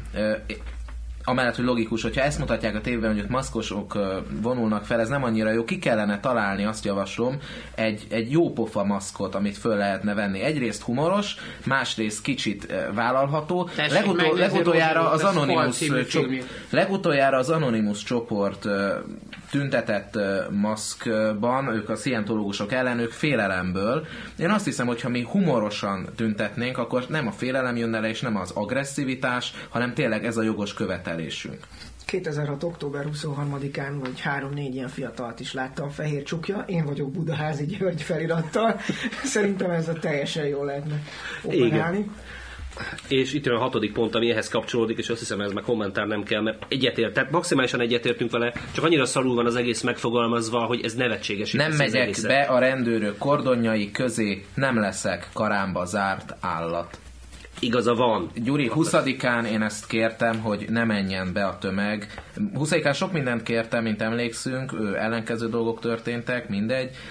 Ez is, nem kell bemenni. Most kitettem a ombudsman jelentését a bombagyára, ez többszörösen is jogsértő, emberi méltóságot sérti, a gyülekezési törvénysértés, cenzúrának minősül ez a, ez a karám felállítás. Lehet ezt lobogtatni, ezt vinni a rendőrökhöz. Örülök, hogy végre, végre ti is így gondoljátok, ahogy mi hazárulók. No, hetes. Ha előállítanak mindenért, panaszt teszek, feljelentem őket, megtagadom az együttműködést, és igyekszem olyan pimaszul viselkedni a hatalom szerveivel, ahogy csak lehet.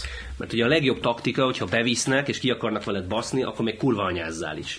Hát, ha még jó meg is vernek. Igen, nem vagyok benne biztos, hogy, hogy ez hasznos pimaszul viselkedni. Nem azért, én tudom, hogy, hogy na mindegy, szóval van bizony arra azért, tehát hogyha magaddal akarsz kibaszni, ez jó. Tehát mondd azt, hogy igen, én összevertem a ruszki emlékművet, hát maximum ülsz érte egy kicsit. Vagy megpróbálhatsz kibújni, illetve még egy lehetőség, hogy hát ha e, egy jobb érzésű rendőrt kapsz, tudom, nincsenek, de ha esetleg mégis, mert például a bombagyára nem egy rendőr van regisztrálva, sőt, ö, akkor neki lehet, hogy ez nem esik jól, és talán, talán, talán az sem jó megoldás, hogyha őt elvadítod magadtól, illetve tőlünk. Az meg, hogy panaszt teszel, feljelented őket, kérek szépen, eddig mit csináltál? Gondolom ezt? Hát, hogyha olyat tesznek, akkor panaszt kell tenni, ki kell állnunk magunkért, és jó, hogy ezt egyébként a híveidnek is elmondod, mert valóban ez az út. Viselkedni. A pimasság az nem biztos. szerveivel.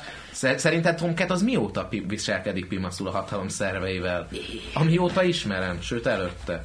Na most Igen, én csak egyébként... a hatalom szerveivel pimaszul viselkedni, az akkor működik, hogyha tudod, hogy mi módon viselkedj pimaszul. Igen, szóval a pimasság, én a pimasság, Tomcat pimasság az egy ilyen jópofa, humoros, kedves, ilyen, Ó, de rámutató pimasság. Budaházinak az, az ilyen Hey, mit képzelsz magadról, te de a tahóság meg a pimasság között azt gondolom, hogy nagyságrendbeli különbségek vannak. nagyságrendbeli. Ezt értettem én is. Kedves Nem. hallgatói, küldjék be a helyes megfejtést. Nem, Nyolcas pont. nem segítem az idegeneket, ideértve a zsidókat, s a cigányokat is, akik ha az érdekük úgy kívánja, akkor magyarok, ha úgy kívánja, akkor nem. Ott teszek nekik keresztbe, ahol csak tudok. De hát ez már benne van abban, hogy nem fizet semmit, mert ha nem fizet, akkor.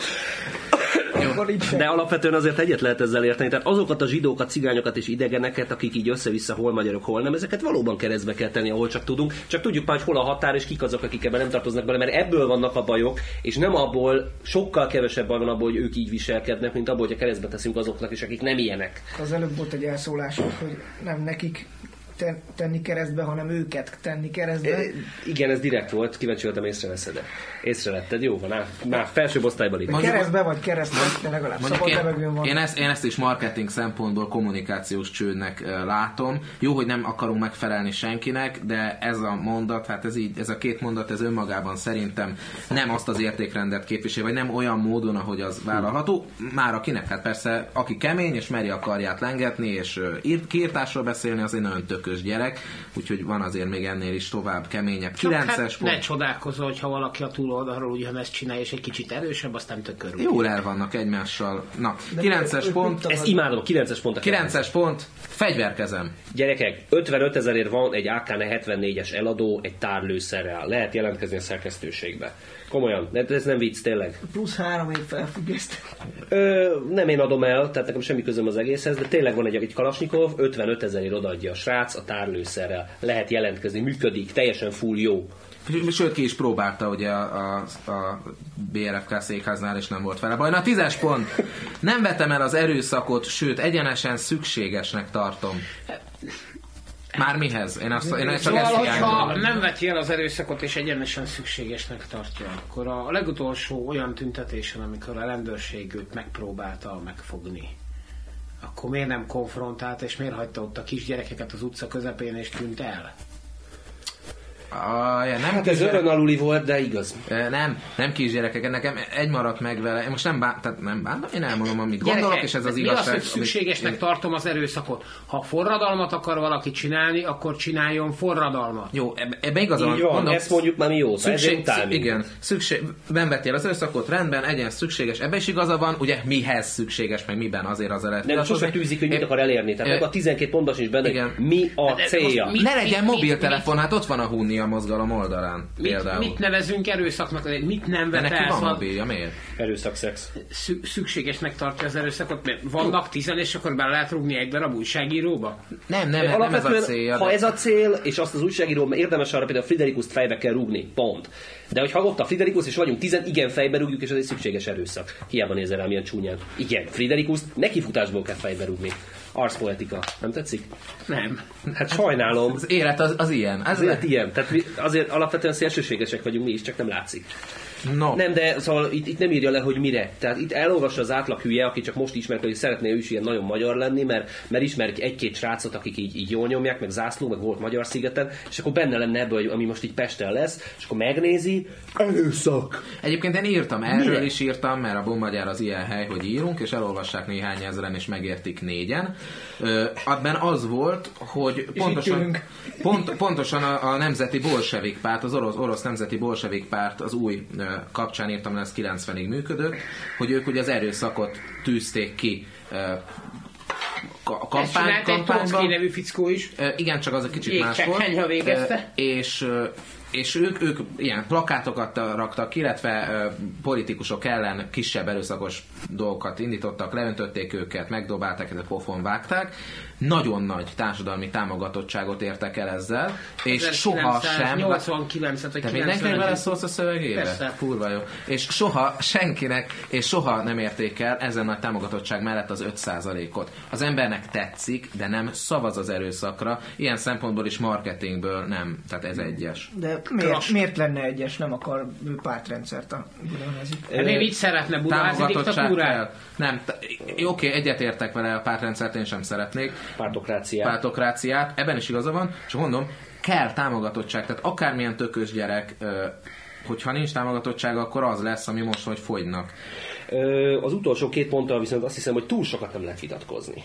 Nem hagyom, hogy az országomat többszörösen tönkretevő mocskok még egyszer élve megússzák, illetve 12, soha többé nem adom a szavazatomat olyan emberre, akire nem tudok felnézni. Akkor ne szavazzom az Orbánra. Nem is szavaz rá. Nem is szavaz, nem is Nem hülye. szavaz, senki nem szavaz az Orbánra azt hitted, hogy fideszesek a budázi? Nem, azt, ez egy vicc volt, mert az Orbán Viktor alacsony, azt hiszem én megértettem. Budázi magas. Ja. Nem tudom, hogy milyen meg Budaházi, én mindig csak tévében láttam, és mindig elfordultam, mert rögnöm kell. Jaj, hát te na- nagyon, nagyon vicces Várjál, vagy. Tomket, te a 11-eshez mit szólsz, mint... Nem mondjam, hogy az országban többszörösen tönkretevő mocskok. Hát továbbra is azt mondom, hogy ott basztuk Nem, meg nem, a nem, mi az, hogy még egyszer őket. megúszszák. Hát egy pár dolgot megúsztak. Hát tudod, reinkarnáció. Tehát, Ö, Tomket nem elég reinkarnáci. na, igen. Ö, jó, De ez, ez- a kettő pont, ez a két pont jó, hát ugye kicsit elkéstünk, mert eddig se kellett olyanra szavazni, akire nem néztünk föl, de, de lehetett. Ez, hogy még egyszer élve megúszszák, szóval gyerekek, Nem, hát megint miről 90-ben beszélünk? megúszták. Ö, ne, 90-ben is megúzták, meg hát tudod. Érdeklődni szeretnék, vagy. 90-ben hol volt a Budaházi? Sőt, 86-ban hol volt a Budaházi? Ott volt a Lánchídon, és eltörték a hátán a gumibotot? Ö, építette a vállalkozását, hogy most már budaházi lehessen. Mert én sem ő- voltam ő, ő, sehol. ügyesebben csinálta, Jó, mint mi, hát de- de te még mert- a csatogó falepkét Jó, tologattad. de ő ügyesebben csinálta, Hát, mint mi, mert ő most tud ezzel foglalkozni, meg a magyarsággal, mi meg a megélhetésünk mellett foglalkozunk a magyarsággal, nekünk is azt kellett volna csinálni, hogy szépen Hát össze- a megélhetésed mellett próbálsz foglalkozni a magyarsággal, van, aki meg megélhetési magyar. Hát ez azért túlzás, azért ezt ne jelentsük így ki. Bocs. Jó, hát Mondjuk, az tény, hogy ebből... elnézést, végigolvastam ezt a 12 pontot, erről az emberről egyetlen egy dolgot kellene gondolnunk. Elég gyorsan kerítsék körbe szöget, rottam, mert önveszélyes. Ebben Hát, egyetértek. Ebben egyetértek, hogy amit ő csinál az önveszélyes, mert célra nem fog vezetni, senkire nem hallgat, megy a feje után, ez végszónak és jó már. zenélünk. De- Több kárt okoz, mint hasznot ezekkel a 12 pontokkal, annak ellenére, hogy tényleg maximálisan Emberek, támogatandóak a célok, és, és maximálisan támogatom azt, amit elmond. Igen, igaza van, de ez nem így kell. És ezt hányszor elmondtuk, és mi vagyunk a rohadt és nekem most itt egy balliberális ugyanezt mondja, tehát mi is balliberálisak ő, ő, vagyunk. ő, ő inkább reklám. Badáz így, hogy reklámarcnak lenne jó, de nem hagyja, hogy valaki ö, fölépítse azt a marka, ezt a brandet, azt az arcot, amire szükség lenne, amit például Tomcatből sikerült magának is fölépíteni. Tomket TM. A gazdasági válság miatt Európa szerte erősödik az idegengyűlölet és a rasszizmus. Az amerikai Stratford intézet elemzői a gárda jelenséget is vizsgálták. A Stratford szerint az adatok szorványossága ellenére bizonyossággal megállapítható, a gazdasági recesszió súlyosbodásával fokozódni fog a feszültség az őslakos népesség és a bevándorlók között.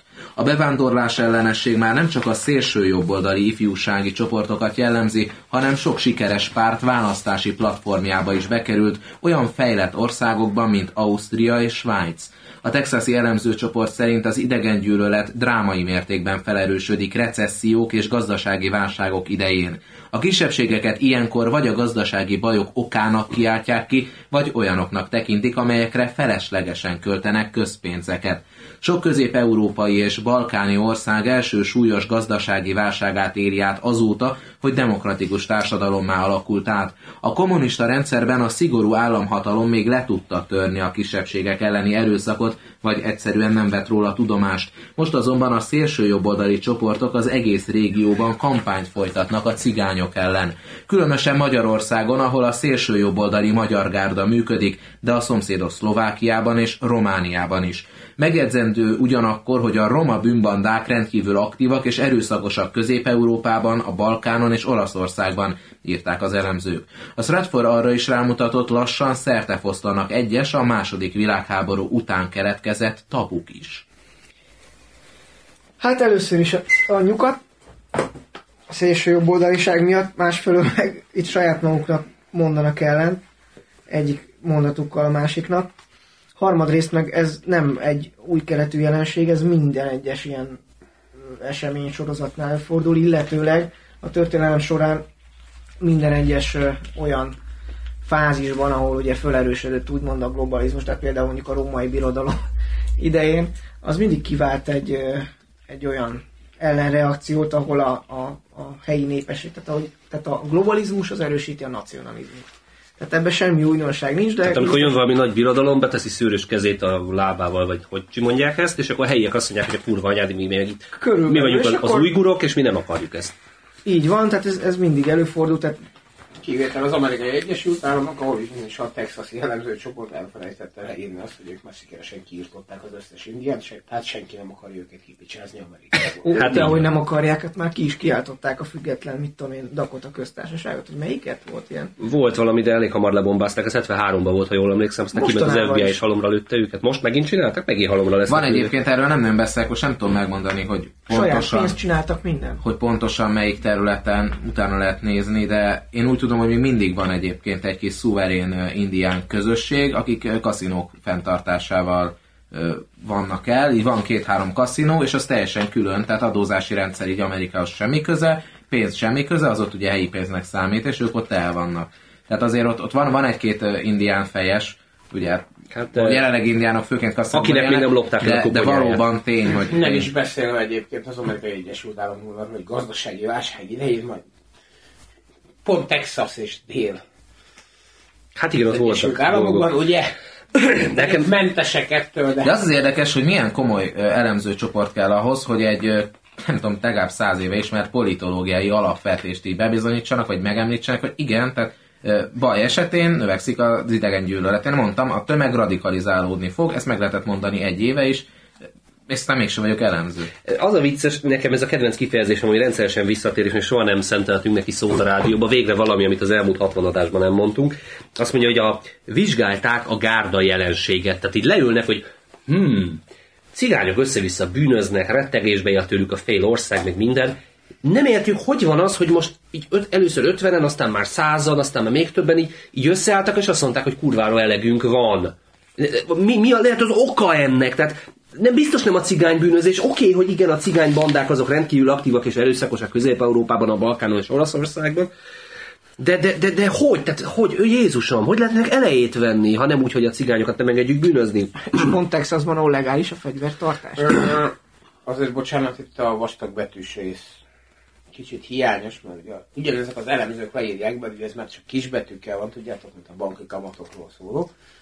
Hozzátéve, hogy ezek a tények nem szolgálhatnak mentségül sem a cigány emberek által elkövetett erőszakos cselekményekre, sem a roma ellenes támadásokra. Mondják ők, akik így... Mert- e, e, e, te is mondj egy, mondj egy roma ellenes Mert- támadást. Mert pusztán a társadalmi nyugtalanság dinamikáját mutatják. Ne. Hülyeség. De hát, csak na, na, na, Léci, egy roma egy ellenes roma ellenes támadás, támadást, csak amit egy, szélsőségesek hajtottak végre. Léci, csak. léci, És nem léci. az, hogy magukra dobják a kézigránátot, hogy kiderült. Nem, ami, ami biztos. Tehát ami, ami az volt, hogy mit tudom Hogy tényleg lementek a gonosz náciak, fantomgárdisták oda mentek, és, és fú, és nagyon, nagyon, nagyon elpicsáztak egy-egy cigányt, vagy akárkit. Mert már kicsit Egyet, tudom, hogy csak- állandóan csak azt egyet. mondják, hogy a rasszisták, és sajnos nem. Szégyellem magam, hogy nem írtjuk őket. Tehát konkrétan. Szégyen. Roma ellenes támadás. Szégyen, szégyen az, hogy a Lendvai már nem tudom hanyatszor próbál spontán orgazmust elérni a parlamentben arra a szóra, hogy a rasszisták meg szegény cigányok, és nem. És már nekem kellemetlen, hogy szerencsétlen Gyurcsány Ferenc, szegény bar, öreg barátunk, beleőrült abba, hogy és, és ott Raskó és Tiborral az élen már nem tudnak mit csinálni, egymáshoz nyúlnak, mert már ezeredszer mondják, hogy itt van a szélsőjobboldali támadás, és mindig kiderül, hogy cigányuzsorások egymást baszogatják. Hát már nekem kellemetlen az ő nevükben is. Ma- Mortimer óta ezt már úgy tudjuk. Meg, meg a Kozma azért tényleg nagyon, nagyon Ilyen jó dolga cigánynak a világon nincs, mint Magyarországon. Hát, mint a parazita így lóg ki belőled, ömlik, ömlik a rothadó húsodból kifel az undorító kis cigánypudré, zabál, és te nem, hogy elnyomod, mint a férget, vagy megpróbáld levágni a karodat, ha kell, vesszen a jó rész is, csak tűnjenek már el innen, és nem csak ők, hanem a kis elfbarátaik, meg mindenki, aki támogatja. Tehát engem nem, nem, nem érdekel, hogy valaki cigány, hanem elcigányosodott, tehát tőlem lehet olyan fehér a bőre, mint a, mint a papírlap, bár egyébként mondom az a és papírlapot színmintának használhatnánk, tehát a- tehát addig ők nem magyarázzanak. Ná- Nálunk nem nem. elnyomod, nem elnyomod a, a, a parazitát, hanem itt segítesz, azt neki enni, odahozod a szomszéd karját is. Ugye, amíg keresgéld a szavakat. Elmegy. nem nagyon van. Hova kerültél? Ugye a, a Zenenin belül hoztak létre egy 50 fős nyomozócsoportot a Pécsi A kézigránatos nyomozásra. Igen, kapcsolatban. Uh-huh. Na, hogy ugye derítsék föl ez az 50 fő, semmi más nem kapott feladatul, csak derítsék föl az összes cigány ellen elkövetett bűncselekményt, hogy vajon melyik szélsőjobboldali szervezet, meg milyen náciak, meg kik csinálják. Ez volt egyébként a legnagyobb öngól az elmúlt, nem tudom, x időszakban, amit elkövettek ők, mert hogy ott vannak, kapják a fizetésüket, és nagyjából malmozni tudnak, illetve eddig az elkövetőket, akiket elkaptak, Pécsen cigányok voltak, mit, mindenhol nem találnak Hát, sem. mondjuk, mondjuk várjál, lehet, hogy azért nincsenek magyar elkövető, mert már magyar nincs ebben az országban lassan. Tehát így arányékban olyan nagyobb esélye van, hogy cigány lesz az elkövető. A tény, hogy a bűnözésben rettentően felülreprezentáltak. Baliberális oldal valamit köpjön, vagy nyeljen már. Szegények ilyen helyzetbe kerültek, nem tehetnek róla, ugye? Shut up! szóval, e, azt azért mindenki mondhatjuk, hogy vannak romák elleni támadások. Ezt ki... Hát kimondhatod, csak semmi értelme. befejezni a mondatomat, Földlapos. mielőtt nekiálltok kiröhögni. Tehát én Jó, most de utána úgy jársz, mint a budaházi, figyeld meg. tehát nem kifejezetten vadászpuskás és egyéb történetekre gondolok, de azt ugye senki nem jelentheti ki, hogy az egységsugarúak időnként csupán időtöltésből követnek el Arányom, barátom, arányom. Mondj már egyet, csak Ez egyet. statisztikai hiba határ, ha egy történik egy héten, vagy tíz. Hát, és közben ezek meg megerőszakolják. Az öregeket kinyomják a szemét, megölik, utána erőszakolják meg, tehát így a sorrend változik. A, a lánygyermekeket, a, A a fiúgyermekeket. csalnak, hazudnak. Tehát, Ha jól emlékszem, hallottad? korábban, amikor sikerült itt debütálnom, akkor kivételesen még abban is egyetértettünk, pont valami ilyen hasonló kérdés boncolgatása kapcsán, hogy azt gondolom, hogy alapvetően, hogy ez a kisebbség elment idáig, az ennek a kisebbségnek a nem kezeléséből adódik. Tökéletesen Ez így van. egyetértünk. Így Nem mentél fel őket?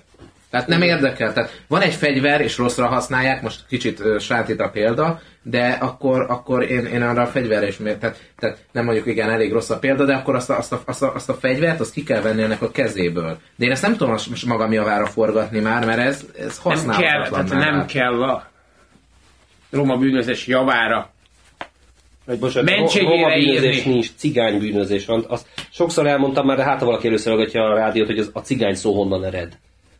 Ez egy bizánci görög szó volt, ez az acigánosz, vagyis törvényen kívüli, törvény nem tisztelő. Innen ered maga a nevük. Miről beszélünk? Hát ezt mire kapták ezt a nevet?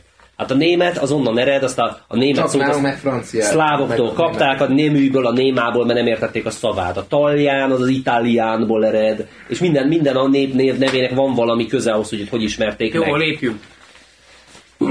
Nyertünk. Rendszeresen játszott szerepjátékokat köztük, gyilkossággal összefüggőeket is. S. Sándor, akit édesanyja Balla Irma volt debreceni Fideszes önkormányzati képviselő meggyilkolásával vádol az ügyészség. B. Attila, aki a gyilkosság napján egy bagaméri szalonnasütésre vitte a vádlottat, az ügyész kérdésére elmondta, rendszeresen játszottak szerepjátékokat, legalább havonta egyszer a játék témája gyilkosság volt. A további tanúk is megerősítették, hogy többnyire szerepjátékokat játszottak, amikor együtt voltak. S. Sándor vádlott kérdésére miszerint tapasztalták-e azt, hogy a játékok során bárki agresszíven viselkedett, vagy megölte volna családtagját, valamennyi tanú egyértelmű nemmel válaszolt. Vesztem a szerepet. Gyerekek, lehet, lehet ennél nagyobb fasságot, ezt a magyar nemzet írta. Tehát ezt, ezt leírja az akármilyen idétlen, mit tudom én, met- metró, abban vannak ilyen cikkek, de bazeg, ezt a magyar nemzet alkotta. Milyen, milyen Hát szerepjáték? Liszkai, hülye vagy, hát ilyet lehozni. De milyen szerepjáték volt? Teljesen mindegy gyilkosság volt a témája. Láttam olyan szerepjátékot, amiben nincs gyilkosság? Igen. De mi, született, született Gondoljatok gyil- bele, hogy a négy és fél évesen papás mamást játszottatok az óvodában, akkor gyakorlatilag az erkölcsi alapjaitokat tettétek tönkre. Jézusom. De... Ez, milyen már érted, ülnek ott, a, sütik a szalonnát, és akkor dobjál. Bedobja a kockát a és akkor, tűzbe. na, akkor te ölöd meg anyát. Egyébként én ismertem a... Szősz, Gyuri, bassza meg, legalább a szalonát Én Hallod, le fogják csukni a Novák családot, azért, mert ő volt a, a mit tudom én, a felbújtó. Ki az a Novák család? A mágusnak a föltalálja. Ja, azt hittem, hogy valami összevonás volt a jobbikban. Na jó. Na, ne, én ismertem egyébként a Balla Irma testvérét, ő egy ember, és talán, ha, talán, talán ha Balla, hát ezt ma már tegyük hozzá, talán ha Balla Lászlónak hívták, nem vagyok benne biztos, ő volt a régi iskolám, gimnáziumomnak az igazgatója. Na de nem sokáig. És ott volt a ballagás. A ballagá, ballagásomon nem volt ott, mert hogy akkor már ő, akkor már nem volt, majdnem, ő akkor már nem volt iskolaigazgató, gyakran járt huszáros mentében, és csak neki lehetett dohányozni mindenhol, amikor ugye megkérdeztük, hogy vaj, miért, akkor azért, mert én vagyok az igazgató, aztán a bíróságon ezt nem fogadták el, amikor sikkasztás miatt odaűrt. Egyébként ez példája annak, hogy attól, hogy te mennyire vagy magyar, ugye annak nincsen köze ahhoz, hogy hát Szóval ismertünk már olyan kidobókat, meg keményebb embereket, akik mondták, hogy óriási magyarok, hát őket mindig arra nevelték, meg ugye Szóval vannak, vannak példák, hát ő is egy ilyen volt, aki máshogy fogta föl, kicsit eltűntek pénzek, nem 40 millió környékén ment el, aztán ő megúszta valahogy, valamilyen módon, Szerintem egyébként azért, mert benne kellett, hogy legyen az igazgatóság többi része, vagy legalábbis, és a tanárikkal legalábbis egy kis szelete, hogy ennyi pénz eltűnt, és kimosták elég ügyesen, úgyhogy visszajöhet és vissza is jöhetett tanárként, tehát én gyanítom, hogy azért Polgármesterségek Ő se is- kizárók, ő az, is az, azért- az előző ciklusban lecsukták tudott, tudott erről a, arról, ö, aztán az iskola igazgató, a szintén Fideszes Vér Magdolna lett nálunk. Ne nevezsétek ki! Hát ezért igazgatói járt annak idején. Ő, ő, ő bejelentette. Nem sokkal később vérnarancsra So, magyarosít. sos, sose felejtettem el, hogy ő, hogy ő Eszembe jut az olvasónkra, a Vas Rezső nem igazgató, itt Vas Rezsó volt. Semmi, vannak ilyenek. Küldjetek be vicces tanárneveket, gyerekek. Sose felejtem el, amikor ő László bejelentette évnyitón, hogy hát sajnos Balla László igazgató úr már nem annyira, ugye hát mindenki tudta miért, hát azért benne volt az újságban, hát mert hogy más elfoglaltság, hát igen, próbálgatta a rabru, rabruhát, A, Máshol nem sorolható gazdasági én tevékenységet nem szívesen, de ideiglenesen. Most ideiglenes igazgató az, amíg én ott voltam, és az még vagy hat év volt. A Nem, ruszkik nem buktam, mert, mert összesen ugye én egyediktől, tehát ez 8 évet jártam a gimnáziumban, mert tehetséggondozó volt, meg nagyon király vagyok, és ő addig ott volt, mint ideiglenes igazgató, és én a diákönkormányzati tag is voltam, meg mi úgy gondoltuk, a diákönkormányzat arra való, hogy keverjük a szart, tehát azért ez azelőtt is volt, csak akkor még kis szinten. Bele, tudtuk, hogy belenézhetünk bizonyos papírokba, és belenéztünk ilyenekbe, hogy milyen ruhapénzért. Tanárok kaptak évi 500 forintot ruhára, Aztán az igazgatóság egyes tagjai most nem, Jól öltözöttek! nem, akar, nem akarom kijelenteni, hogy ki, nem akarom kijelenteni, hogy kik, mert, mert ugye ez nincs jogom, de volt olyan, aki például elmehetett ilyen továbbképzésre, ilyen Hawaii-ra, meg ilyen helyekre, ilyen évi 40 milliós fizetésért, meg ilyenek, szóval voltak érdekes dolgok, tehát zajlott az élet. Minden állat egyenlő, de néhányan minden állatnál egyenlőbbek. Ö, Bocsánat, én egyébként Balla Irmának az emlékét meggyalázondó azért elmondanám. Igen, ez egy ilyen műsor, tehát ez a Balla Irmáról, tehát őt a saját fia agyonverte. Na most ilyen azért nem olyan gyakran van. Most ezt, vannak úgynevezett pszichológusok, akik foglalkoznak is azzal, hogy tulajdonképpen miért veri vagyon, vajon agyon valaki az anyját. Öt éves korában a kezére utott, amikor a bugyjába turkált. Lehetséges, te nagyon sokan beszélik, hogy igazából ez a kedves Balla Irma, ez a halába szekálta a gyerekét, és nem bírta tovább. Ö, nem tudom, hogy ez így van-e, hát nyugodjék békében. Istenem, de biztos a szerepjátékozókkal, tehát ez a legegyszerűbb. Szerepjátékozók, neki dobókockát. így van, és tiltsák be a Pokémont, ja. No. Na nézzük, mit, mit a Vatikán küldöttsége gyönyörű íroményes. A Vatikán küldöttsége Izraelben azt hangoztatta, hogy akik kétségbe vonják a holokausztot, nagyhával, azok nem számíthatók katolikusnak. Kiskával. Ezt a kijelentést a jelenlegi feszültség oldására szánták a pápa májusban várható látogatásának alkalmából. Antonio Franco pápai nuncius a 16. Benedek pápa által rehabilitált William püspökre utalt, aki tagadja az egész holokausztot, és azt mondja, hogy nem voltak gázkamrák. Abner Saleva, a Yad Vashem intézet igazgatója elégedettségét fejezte ki Frankó kijelentésével kapcsolatban, és azt is mondta, hogy konferencia jó lépés volt arra, hogy bizalmat építsünk, és párbeszédbe lépjünk a közelmúltbeli vatikáni krízis után. Csődben van a Vatikániban. Hát igen. De ez valami hihetetlen. Még szerencsé, hogy én krisnás. Bal liberális náci véleményét Nem tudom. Te, te, te, te katolikus vagy? Meg vagyok keresztelve. De mire? Katolikusnak. Hoppá, és tagadod a holokausztot? Mi az? Na hát, diplomatikus. Most fölültem a kedvenc könyvünket. Ugye tapasztaltabbak már tudják, hogy mi a kedvenc könyvünk. Aki nem emlékezne, elmondom, Menykám, hogy de most az nincs. Vicceltünk. nem, ez egy kicsit vékonyabb. Ez az antológia antijudaika. És mondjuk, uh, keresünk olyat, aki ki tudja mondani. Bonaparte Napóleon 1769-1821-ig Franciaország császára és hadvezér következőt mondta, biztos nem volt katolikus. Sáskák és hernyók a zsidók, felfalják Franciaországot. Aztán Mózes óta uzsorás és szipolyozó népként egyesültek a zsidók. El kell őket teljesen tiltani a kereskedelemtől, amiképpen iparától megfosztják az aranyművest, aki talmi aranyat dolgoz fel. Aztán Zsidóktól is kaptam csapatokat a lengyelországi hadjáratomhoz, de ők fizetséget kértek. Csak hamar rá kellett jönnöm, hogy legfeljebb arra jó, hogy használt ruhát áruljanak. Aztán Törvénykezni kell mindenhol, ahol az általános nyugalom veszélyben van. A kormány nem nézheti közömbösen, ahogy ez az alávaló népség megszállja Franciaország minden provinciáját. A zsidókkal sajátságos népként kell elbánnunk, államot alkotnak az államban. Elriasztó a francia nemzet számára a legalantasabb uralma alatt végezni. A zsidók a modernkor rablómesteri, az emberiség dökkesejűi, politikai, nem pedig emberi igazságot kell velük szemben érvényesíteni. Ők nem valódi polgárok. Egyébként folytatódik még másfél oldalon keresztül, és ez pedig a kód Napóleonból származott, illetve Napóleon visszaemlékezéseiből, illetve az államtanács előtt elmondott 1906. évi április 30. és május 7-i De biztosan volt jó néhány olyan támogatója, aki egyébként alapvetően onnan származik. Igen ám, csak az nem viselkedett aként, tehát megint elmondom szépen lassan, mert te új vagy a műsorban, hogy ez nem származási kérdés. Tehát a származási kérdés két népség veszi figyelembe, a nácik, meg a zsidók. Azt, hogy te minek születtél. Nem, az a lényeg, hogy miként viselkedsz. Mint ahogy az én sváb őseim 1848-ban már, mint délvidéki svábok, harcoltak Kossuth mellett magyar honvédként, holott még Mária Terézia telepítette be őket, és lehet, hogy magyarul se tudott az űrge, de azért ott harcolászott, és senki nem mondta neki azt, hogy ő német.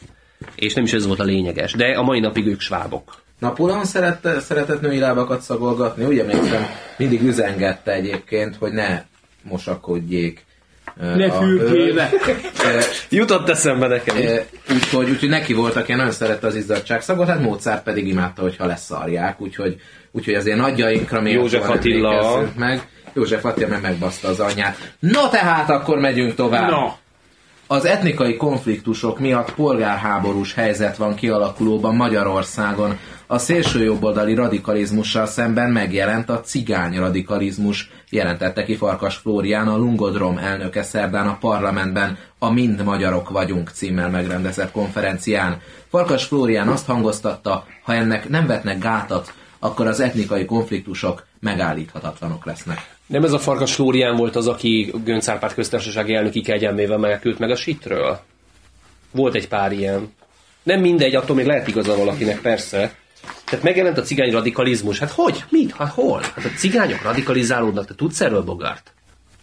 Nem tudom, szerintem egyébként alapvetően a társadalomból a farkas flóriánokat kellene kiiktatni. Így van, egy farkas mindenki... már kilőttünk az űrbe, jöhet a következő. De De nem, nem, nem, nem, most így leginkább azt merészel mondani, hogy mind a két oldalról ezeket kicsit, tehát így amikor bántják a jobb oldalt, hogy árkotásnak az emberek közé, akkor én ebben nagyon sok esetben egyetértek, csak én azt is kimerem mondani, hogy hát azokat is elég rendesen meg kéne veszőzni, és nem, fi, az árokásassal minden rendben van, csak mindenki magának ás a saját árkát. És utána belelőjük természetesen. Tehát ez volna, de ez egy roppant érdekes kijelentés. Kicsit elemezzük, azt mondja, hogy megjelent a cigány radikalizmus. Tehát azt jelenti, Tehát hogy ed- a... eddig voltak békések, meg normálisak. Igen. Tehát eddig volt az, hogy vannak az őrjöngő szemét magyar nácik, akik így kopaszra borotválva rugdossák a szerencsétlen cigány csecsemő holtestét, akit előtte söréttel apítottak föl, és ugye ez a gonosz és a, a sátán, és még ráadásul gárda is. Ehhez képest most a cigányok ugyanezt csinálják? Tudunk erről? Képzeljük el, hogy, hogy ha már ő is ezt mondja, akkor mit fognak csinálni? Tehát ha igaza van. És így most kezdenek Aló, faszt már, bocsánatot kérek, hogy kicsit közönséges vagyok, mint egy fajék. Azt kell gondolnom, hogy az összes politikust kellene kiiktatni, aki politikai célokra próbál használni mindenféle nációt, és mindenféle nációt megpróbál Mire egymásnak urasztani. Ezt vártuk. Ezért de sokáig bírt a harmadik adás, itt párkonak, hogy elsőre sikerült. No. Hát azt merészelem gondolni, hogy mindenkit, aki bármiféle kisebbséget, vagy bármiféle politikai eszmét arra használ, hogy más ellen fordítsa. De a politikai eszmék arra valók. Mondj egyet, amelyik nem. Anarchista vagyok. Hát, ez hát az elég, lerombol. Elég nagy baj az. Nem, az anarchia nem rombol. Hát te azt hiszed. Nem. Próbáld ki. Erről megkérdezni most véletlenül. De várj, én az anarchisták mindig arra gondoltam, hogy anari, aki anarchia jel van, az, az, tehát így megyek én, mondjuk tegyük fel, ez életkép, szerepjáték. Megyünk ilyen metró. Jézusom, szegény anyád. Így, így, így, így, így, mennek ilyen lépcsők föl, alá jó vas, kemény lépcsők, és a tetején áll, és anarchia jel van rajta, mert mögött, és lerúgom a gecibe, hogy, hogy gyokát törje. És tegyük föl, túléli. Akkor ő futhat rendőrért?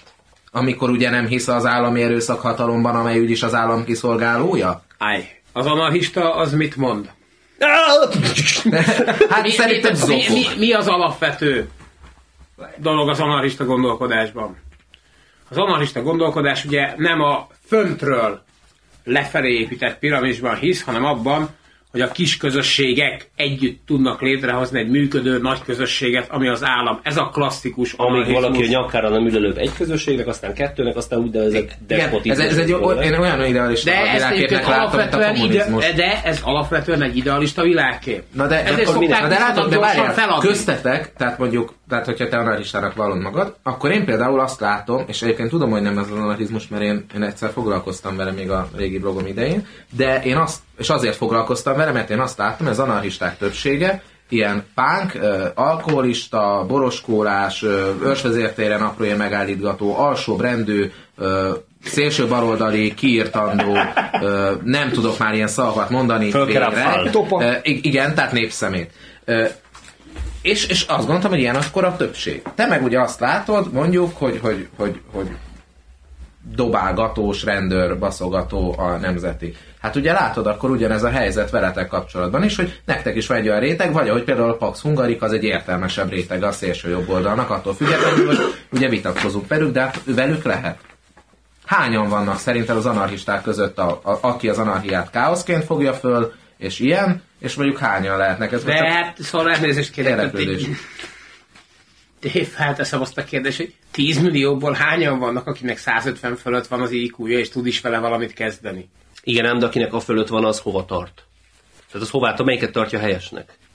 Azt gondolom, hogy bizonyos IQ fölött nem az a kérdés, hogy melyiket tartott helyesnek, hanem az, hogy hogyan kivitelezhető az, hogy ez működjön együtt. De most várjál, ha te anarchista vagy, akkor te nem hiszel a nemzet fogalmában? A nemzet nem egy alulról építkező dolog? Nem. Nem. Hát honnan építkezik? Föntről egy magasabb rendű eszméből kisugárzat. Legalábbis a magyar nemzet fogalma az, az a Szent Korona eszmére épül, ami egy magasabb rendező elv. Egyenesen Istentől jön egyébként. Istenbe hiszel? Igen, de sajátos módon. Hát azt én is elmondhatom, mindenkinek saját istene van. Ez Krishna ezer arca, hogy a Gita leírta. Egyébként mindenkinek ajánlom elolvasni a Bhagavad Gitát, még akkor is a keresztény. Túl vagyok rajta. Na hát te túl vagy, láttam a szobádat, az elég szépen tele van mindenfélével. Azért mondjuk el, hogy van neked egy nagyon szép szobrod, amit láttam, amikor nálad jártam. Egy, ez egy nem Govinda. Ganesha. Ganesha, igen. A kedvencem. Múrti. Igen, bloginek a kedvenc múrtia, van neki egy ilyen szép nagy faragott Ganesha szobra, ez hogy került hozzá? Meg van repedve. Szóval Sri Lankán a cunami után voltam kint, és egy cunami által elmosott hindu templomban volt ez egy szobor, és Hát akkor már megkaptam ajándékba. Ja, megkaptam ajándékba. Nem szoktam hazahozni a templomból elrabolt szobrokat. Jó neked, nekem Tudod, egyszer mert azt a halott orgazda az nem veszi át mégse, és ilyenkor szembe találhat egy gondolat. Na mindegy, szóval ez a nagyon szép, krisnásokról meg mit tud? Tehát, Mindenki, hogy hogy így kerül, így kerül hozzád egy templomi murti, ez azt jelenti, hogy neked Isten valamit üzenni akart, legalábbis hát ezt, ezt a védikus hit ez így tartja. Például, hogy ne legyen anarchista. De Igen. hát ö, mondjuk így került hozzám a bagdadi Al-Adamia mecsetből egy kursi talizmán, amit alapvetően hitetlennek nem szoktak adni, nekem pedig az imám a kezembe adott. Na, látod, ez azt jelenti, hogy neked így Isten azt akarja mondani, hogy te figyelj, Figyelj te, már ide. Figyelj már, figyelj már, bazd meg. Körülbelül ez azt mit, mit adjak már? Nekem is van egy ilyen visszatérő relikviáim hozzám, Szent Miklós képet ér így haza állandóan. Nálam is van egy Mikulás. E, igen, de ez az ortodox, ez az érdekes, ez az ortodox Szent Miklós ábrázolás, ugyanis ez úgy kezdődött, hogy Az nem volt, közös annyira szimpatikus figura, ugye? Nekem elég, elég aranyos volt. Ez úgy kezdődött, hogy lemoltam a délvidéken, és a szabadkai piacon, ami egyébként Európa legnagyobb szabadtéri piaca. És úgy kurva jó? És kurva jó, és nem találtam Kalasnyikovot, pedig megígérték, mindegy. szóval voltak ilyen nagyon szép festett üvegek, egy magyar űrge árulta egyébként, de én ortodox szentek voltak rajta, és mondom, hát adj egy Szent Miklóst, mert az olyan aranyos. Hazavittem, gyönyörű festett üveg, hazavittem, nagyon örültünk, odaadtam Atinának, aztán két hét múlva leesett és összetört. Hát mondom, bassza, meg eddig tartott. És aznap este találtunk egy, így a lomok között egy régi telefonkártyát, ami ugyanaz a kép volt, Szent Miklós. Hm, Jó, és oda tettük a helyére. Költözésnél elveszett, és egy pár nap múlva rá anyám jött, hogy de figyelj, megtaláltam ezt, a, gyerekkoromban volt egy ikonfestő szerelmem, és ez így, így adta nekem, és tessék neked adom. És egy kis Szent Miklós ikont adott nekem, egy tűzomán Szent Miklós ikont, ami most egyébként ott Krisna mellett van a helye. Tehát nekem, nekem ő téreget így vissza, neked meg így jönnek ezek a kis relikviák. Ezzel nem tudom, ez csak húzzuk el a műsoridőt, hogy ugye, ezt ugye elmondom. véletlenek alapvetően ugye nincsen. Hát, Így van, így van. hát a véletleneket azért találták, hogy a hülyén benyugtassa magát. De az a legdurvább, hogy ma kérdezték tőlem, hogy hiszek a véletlenekben, utálom az ilyen kérdéseket, hogy hiszel-e és nem hiszel a véletlenekben, mert ez egy olyan hosszú téma lenne, és nem tudom kifejteni. Nem, Hiszel a hitben. és akkor minden kicsit ki, ki, kikerülöm. Ü- ügy- tehát, hogy tehát ne kelljen. És azt mondtam, hogy a szükségszerűségben hiszek. És ez egy kicsit, kicsit az már majdnem ugyanaz, között. Az majdnem ugyanaz, igen. Csak én azt mondom, hogy ha valami megtörténik, akkor annak utólag, hogyha lehet, hogy előre nem is volt célja, utólag biztos, hogy lesz. Lehet, hogy ebben nem sorszerűség van, hanem ugye mindenből De következik egyébként minden meg e, e, visszatérve egy pillanatra az anarchizmusomra, meg egyebekre, tehát e, alapvetően ez a Lehet, hogy légnyomást kaptál egy ilyen harctéren? nem, nem lehet, hogy ez a Jézus nevű fickó is a maga szintjén anarchista volt? Kedves hallgatóink, küldjék Nem, Jézus azt megfejtéseket. mondta, hogy adjuk meg a császárnak, ami a császári. Ezzel Akkor ne küldjétek be, elvitte Neo a díjat, egy laska gombát. Köszönöm Most szépen. zenélni fogunk, addig pedig ő megkapja. Pedig most elmegyek haza. Mert hogy holnap estig el kell költöznem az albérletemből egy másikba. Fekete színű katonai jellegű öltözetben rontott be egykori iskolájába a németországi Stuttgartban egy volt diák. A 17 éves fiú vaktában lövöldözni kezdett, megölt három tanárt és 10 diákot, majd elhagyta az épületet. Az utcán ezt követően agyonlőtt egy embert, aki a közeli kórházban dolgozott, majd egy autó vezetőjét fegyverrel arra kényszerítette, hogy a mintegy 40 kilométerre fekvő Vinnennen behajtsanak. Itt elengedte a sofőrt, mire az őt üldöző rendőrökkel vívott tűzpárbajban életét vesztette, három újabb embert ölt meg. Biztos gárdista volt. Ez, ez a fekete katona, ilyen tuti. Uh, igen, szóval Totál Szentgyörgyre kellett volna leküldeni terápiára, de nem csak erről van szó. Uh, én azon gondolkoztam, azért vettem bele, mert nem szoktunk ilyeneket bevenni a rádióba. Igen, lövöldöztek, megint egy csomó embert kinyírtak. Most ezt azért tettem bele, mert uh, egyrészt az, hogy mindenki ezzel foglalkozik, és ilyenkor fölmerül, hogy de hát miért tesznek ilyet? Na most nem tudom, föltűnik-e valakinek, hogy ilyen, csak azokban az országokban, sőt azokban, ott is azokban a területeken történik, ahol minden halálosan tökéletes, és mindenki biztonságban és szépen és jól él. Igen ám, Csak én ezt annak szoktam betudni az ilyesmiket, hogy ezekben a, ezeken a területeken olyan szinten kiherélik az emberek életét, hogy ezt ezek a kis tizenéves szarok, akik próbálják a helyüket megtalálni, férfinak születik, de nem lehet férfi, embernek születik, de nem lehet ember, Isten teremtménye, de nem ismeri Istent, és a vége az lesz, hogy tényleg fogja a géppisztolyt, és elkezd mindent szétlőni. Látta valaki az Összeomlás című filmet? Mm-hmm. Na, Michael Douglas film. Michael Douglas, ugye egy csodálatos film egyébként, persze nem, akkor még nem voltak annyira ezek a lövöldözések, ugye az első ilyen, ami, ami a óriási fölhördülést keltett, az a Columbine iskolai mészárlás volt. Nem azzal kezdődött, mert előtte is volt iskolai lövöldözés, csak maximum egyet-kettőt lőttek le, és már ott tartunk, ugye, hát ahol tartunk. Tehát ez, ez már meg sem lepődünk, hogy megint ölték egymást a kölykök. Ne legyünk eltévedve, Magyarországon is lesz ilyen, mármint ilyen géppisztolyos, mert egyébként is van iskolai gyilkosság az a, az a társadalom produkál ilyen tüneteket, amelyik teljesen beteg. Az a társadalom, amelyik, mint mondtam, elveszi az embertől az emberséget, és így aztán még inkább ördögök lesznek az emberek, hogy már a másik irányba kezdenek fejlődni, nem arra, mert kívánatos lenne, mert ő se úgy született, hogy fekete gyakorló volt rajta és géppisztoly a kezébe. Honnan tudod? Hát legalábbis bár a németektől minden kitelik, valóban, lehet Hamaszos Lehetett volna Hamaszos. Mindenhol van ilyen, csak alapvetően Hamasz az egy, az egy háborús helyzetben működik. Tehát lehet, hogy ott is le fogják mészárolni a hadifoglyokat, meg robbangatnak, de annak van valami háttere. Az élet teljes céltalansága az egyébként, ami Igen. ebben kicsúcsosodhat. Ott van a jólétben, most lehetnek egyéni problémái, nyilván vannak egyéni problémái, azokra fogják visszavezetni, de tényleg társadalmi tünetként ez tényleg azt jelenti, mikor már olyan különösebb cél nincs, hiszen egész jól megélünk, nincsenek olyan kis harcaink, és én nem azt mondom, hogy nekem hiányzik az a harc, hogy, hogy, hogy, hogy megélhetés, hogy, hogy, hogy az ország helyzete, stb. nem ilyen harcok, hanem egyszerűen nincs okod bármit létrehozni, alkotni. Hát és én mindig azt mondom, hogy legyen egy hobbid, ez a hobbit pedig legyen hasznos a társadalom számára, és akkor ott megtalálsz egy olyan, vagy a munkád, és megtalálsz egy olyan, olyan utat, ami nem ebben torkollik, vagy végződik. Mennyivel jobban jártak volna, ha szerepjátékozik a srác? Lehet, hogy szerepjátékozott. Lehet, hogy attól lett ez. Na mindegy, nézzük. Másik hír Németországból.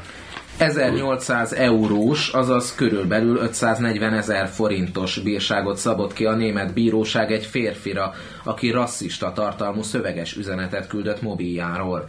Ennek az SMS-nek a megnyitásával megöltél egy törököt, küld tovább, ha tiszta versenyt szeretnél, írta egy német férfi abban a szöveges üzenetben, amit a telefonkönyvében található legelső számra küldött. Az egész talán sosem derült volna ki, ám a rendőrség teljesen más kifolyólag házkutatást tartotta az üzenet címzetjének lakásán, mobiltelefonját is átvizsgálták, és ekkor bukkantak a szerencsétlen üzenetre. A küldő ellen ezek után eljárás indult. Bár a német bíróság népcsoport elleni gyűlöletkeltés miatt letöltendő börtönbüntetésre is ítélhette volna az üzenet 28 éves küldőjét, végül a vád nem tudta minden kétséget kizáróan bizonyítani, hogy ez volt az SMS célja. A vádlott mellett szólt az, hogy van török rokona. Az SMS tavaly nyáron a foci EB török-német mérkőzése alatt írta.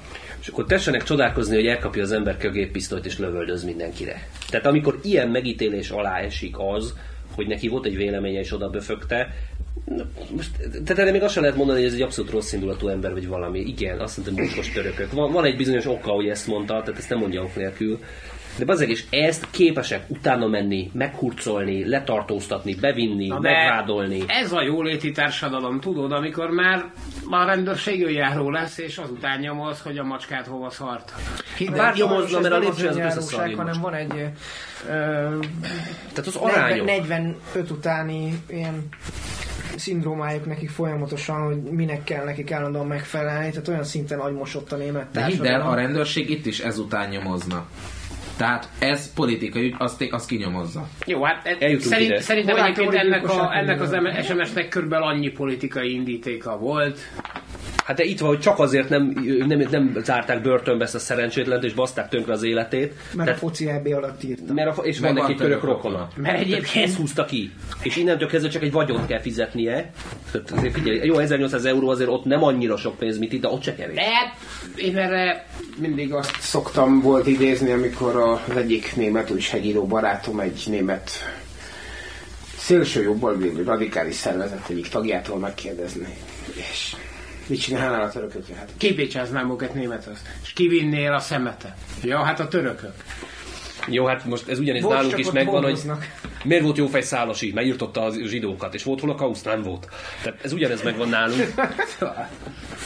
De, nem, de ez, ez, Na. de várjál, bocsánat, ezzel a szinten, tehát itt megint arról beszélünk, amit ugye Benjamin Franklin mondott, hogy az a, az a nemzet, amelyik feláldozza a biztonságáért, a szabadságát egyiket se érdemli meg, valami ilyesmiről beszélünk, tehát ez az eljárás, ez, ez ilyenek jutnak eszembe róla, hogy Stázi például, a Ne- nagy szabad Németország. Nekem meg az jut eszembe erről, hogy a helyzet komolysága meg a büntetés mértéke. Egyszer beírta a tanár, nem tudom, hogy Zoltán az órán ismét visszabeszélt és minősíthetetlen hangnemben kritizálta a tanári képességeimet. Válasz, köszönöm tanár úr, fiam nyilvános megkövezésére szombaton kerül sor. Tehát egyébként szóval- fontos dolgok. Három évi börtönre ítélte csütörtökön egy bagdadi bíróság azt az újságírót, aki tavaly decemberben cipőjével próbálta megdobni az utolsó iraki sajtókonferenciáját tartó George Bush amerikai elnököt. Tetének súlyát jelzi az, hogy több millió dolláros licitek folytak a cipő iránt, és volt arab állam, aki menedéket is nyújtott volna a riporternek. Bár kis dolognak tűnik, az arab világban ez nagy jelentőséggel bíró cselekedet volt Muntazir az-Zaidi részéről. Akit ezúton is üdvözlünk, ha esetleg hallgatja a Bombagyár rádiót. börtönben. Kötsünk neki egy fél perc. É, a- És nem véletlenül raktam egyébként a két hírt egymás után a műsortervbe, tehát tetszik Tehát én, én, én azért azt gondolom, hogy legalább egy fényképes megemlékezést megér a kolléga. Volt, volt róla szó, egyébként a Eduardo Rózsa Flores, az, eh, ha jól tudom, próbál vele éppen interjút csinálni, ha sikerül. Egyébként pedig a másik, hogy nem biztos, hogy ő börtönbe megy, mert úgy tudom, hogy Svájc menedékjogot adott neki. Ami egyébként nagyon helyes és pozitív dolog. De ennyit a demokráciáról. Tehát küldesz egy SMS-t, mész a börtönbe. Eldobsz egy cipőt, mész a Ön, börtönbe. önmagában, önmagában az eljárás ugye viszonylag jogszerű, egy különösen védett személy, amerikai elnök ne dobáld meg, oké. Okay. Csak itt lehetett volna adni a bíróságban, hogy értékeli a tett súlyát, értékeli, hogy Amerikában a szólásszabadság ugye elvileg mindenek fölött Mert áll, értékeli, hogy nem találta el, értékeli, hogy tehát értékeli a, a dolgokat, és azt mondta volna, hogy ennyi bejnye, ez az amerikai elnök. És- A három év döbbenetesen súlyos. És értékelje azt is, hogy azért Irakban nem csak ígérgetik a bírónak, hogy kiirtják a családját egy ilyenre. Tehát én nem lepődnék meg, hogy aki ezt aláírta, innentől kezdve ember már nem lesz. Én egyébként nem vagyok benne Most biztos, az. hogy ez, a, ez az újságíró valójában ezt a büntetést is fog jövülni. Biztos nem fogja, mert most mondom, hogy kapott menedékjogot. Képzeld, ő lesz az Adidas reklámarca. A cipőgyárnak, bocsánat. Viszont, viszont ez, azért, ez azért aranyos, hogy a több millió dolláros licitek folynak a cipő. Egyébként ez azért is nem igaz, mert szétvágták a cipőt a biztonságiak, hogy nincs benne bomba. Tehát ez így, ez kamu ez a része. Jó, hát a, Hát de miért? De a másik. De nem létezik a cipő, De a viszont az másik igaz. cipő. Dehogy nem, nem, mind a kettőt csomó, csomót eladnak. Hát most, Most már, hát igen, mert a gyártócég, gyártócég az meggazdagodott ebből, mert egy kis török cipőgyár csinálta, amilyen évente legyárt ezer cipőt, már nem tudom hány milliók csináltak ebből a cipőből hirtelen. Az összes arab ilyenbe akar járni. És Igazából egyébként azt Nincs gondolom, egy hogy cégvezetés hordjunk sem. csehszlovák tornacipőt, ne, ne váltsunk zoknit három hétig, és aztán majd, amikor találkozunk, pártjaink és kormány, ö, bocsánat, pártjaink, és szóval úgy is tudjátok, mit akarok mondani, dobáljuk meg csehszlovák, NDK vagy kínai tornacipővel. Vagy bármivel, ami a kezünkbe akad. Nem, nem, nem, nem, nem. nem. képzeld el, De azokat a- Azért elnézést kérek, tehát a bagdadi kollégát és a bagdadi kollégának a megnyilvánulását véletlen se próbáljuk párhuzamba állítani budaházi kijelentéssel. Ö, alapvetően, hogyha Gyurcsány az a budaházi hozzávág egy cipőt, az szerintem legalább ugyanannyira tisztelendő, mint amit ez az emberke csinált. Jó, kisebb gazember, mert azért vannak fokozatok, meg kisebb ország, de alapvetően ugyanaz. Tehát ha, ha a budaházi hozzávágja a cipőjét a Gyurcsány, azért nem fogom azt mondani, hogy mit csinálsz, te fasz. De hát én egyébként, egyébként azt gondolom, hogy ö, a legideálisabb ilyen kormány és parlamenti fellép, parlament elleni fellépés az az lenne, hogyha az összes tüntető vásárolnak töménytelen mennyiségű túrógombócot, vagy bármiféle. Tojást. De a tojást azt hagyjuk, Azt mert a tojás, nem, tehát a, a tojással az a baj, ugye, hogy ez kemény. Tehát ha véletlen sérül, És dobtak már meg tojással? dobtak, összetörtet, jelentősebb problémát nem okozott, de tehát tőlem akár pillecukorral is megdobálhat. Figyelj, tehát ezeket de... nem. Ezeket kézigránattól kell alapvetően megdobálni, és nem baj, ha meghalnak, nem baj, ha megnyomorodnak, és nem, nem baj, ha a családjuk is megnyomorodik. Nekem ez nem, a nem, nem, nekem, ne, hát nekem nem ez Ezek a véleményem, tehát én, az, én azt gondolom, hogy... Nem, de te amikor... rohadt liberális hazaáruló vagy. Hát de, de, jó, én egy rohadt liberális hazaáruló vagyok, viszont azt gondolom, hogy a hatalom számára sokkal nagyobb fricska a lejárt húsvéti tojással való megdobálás, mint a való. Leszünk a fricskát, pucoljanak. Bocsáss meg, ez, ezért a fricskáért kettőtől öt évig terjedő szabadságvesztés kapsz jelenleg. Amit a kézigránátért is tehát a, nem, a kézigránátért alapvetően kormányváltást kapunk, ami után valószínűleg egy szobrot kapsz inkább, nem minden nem Igen. Hát Így a cellába, a felső Egy váltásrendszer elég egy életre, tehát én nem, hiszem, nem hiszek jelenleg abban, hogy Magyarországon bármelyik kormány, amelyik ezután következne. Az De várjál, amíg a vona lesz a miniszterelnök helyettes. Ezt mondaná egy jobbikos. Akkor kérek menedékjogot a népi Kubába. Szar... Az, hogy miniszterelnök helyettes. Belekezdtél? Na még egyszer. Szarkasztikus, már-már megalázó hangnemben tudósít az orosz kommerszánt üzleti napilap Gyurcsány Ferenc moszkvai tárgyalásairól. Alig, hogy aláírták a gázvezeték megépítéséről a megállapodást, a kormányfő már is a gázszállítások diversifikációjáról beszélt. A magyar kormányfő kedden írt alá megállapodást a déli áramlat gázvezeték magyarországi szakaszát megépítő vállalat alapításáról és a pusztaföldvári gáztároló fejlesztéséről. A tárgyalás alaphangulatára rányomta a bélyegét, hogy Gyurcsány januárban Putyinnak írt levelében Oroszországot vádolta azzal, hogy nem teljesítette szerződése feltételeit. Mindez nem tudott nem hatni Vladimir Putyinra, valószínűleg türelmetlenül várta Gyurcsány Ferenc moszkvai látogatását, és ím megtörtént. Annál is inkább, mert Gyurcsány úr megérkezése után az idegösszeomlás határát súrolva kezdett beszélni Vladimir Putyinnal. A magyar kormányfő több szerencsétlen megjegyzést is tett a mostani tárgyalás során, amire az orosz elnök azonnal válaszolt. Úgy gondolom, mondta Gyurcsány Ferenc, hogy két gázvezeték több mint egy, a három pedig több mint kettő. Valahogy győzedelmesen tekintett körül a teremben, amelyiknek méltóképp kellett volna értékelnie ezen állítás bátorságát.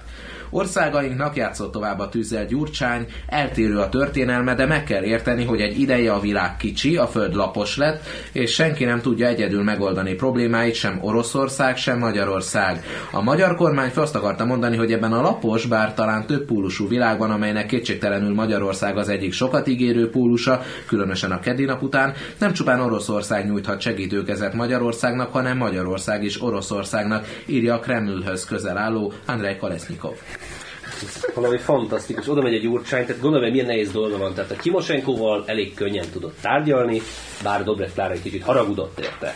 Egy korábbi adásban erről beszélgettünk, tehát talán nem volt egy Ferihegyi VIP váróban volt egy kis sodrófás affér, mikor hazajött a gyurcsány, ez így volt. De hát gondolj bele, amikor a, a Putyinhoz itt leül, és na ennek most mit mondjak. És mit szólhatott ehhez egyébként piros néni? Azt nem tudom, mit szólt, de most gondoljunk el, hogy az a, oké, mondjuk a Putyin itt van, és így megvakargatta kicsit a putyus fülét, mondjuk Totó, vagy hogy a fenébe hívják, addig úgy, addig úgy rendben volt, tehát, az, tehát Budapesten gyakorlatilag nem tárgyaltak semmiről, de most oda ment, és most meg kellett mondani, hogy figyelj, tehát így, így most tehát szeretnénk még gázt, de úgy, hogy közben leszarjuk az érdekeidet adsz, és közben súrolja az őrület határát, vagy minek. Tehát de Ferike igazából feltétlenül nem azért kapott gutaütést. Én örülnék, ha gutaütést kapna. Hát Ferike azért kapott gutaütést Moszkvában, mert Putyin úr megmondta neki, hogy ha szeretnétek azt, hogy az Orosz Föderáció egy kicsit megpróbálja Magyarországot meglökni ebből a, az általatok kiásott mélypont gödörből, és egy kicsit segítséget szeretnétek, akkor Ferike, akkor a parlamentben, a szobádban kezd el összeszedni a tornacipődet, meg a futómacidat, és húzzál el a retekbe. Sanszos. Tehát a Putyin, ezt már megmondta egyébként a Gyurcsánynak Angela Merkel, megmondta neki a Barroso, megmondta neki a Sárközi. Meg mi is megmondtuk. Hát, megmondta neki a Putyin, de, de neki megmondta, hogy... Burázi György is szólt már egyébként. Igen, igen, igen, igen. Én tudom, hogy a klasszikusoknál maradjunk, mert ugye y Tudod, mire vagyok rohadt büszke? Én vagyok az egyetlen, aki ellen a Gyurcsány tüntetett, és azt mondta, hogy én takarodjak. Azért az milyen?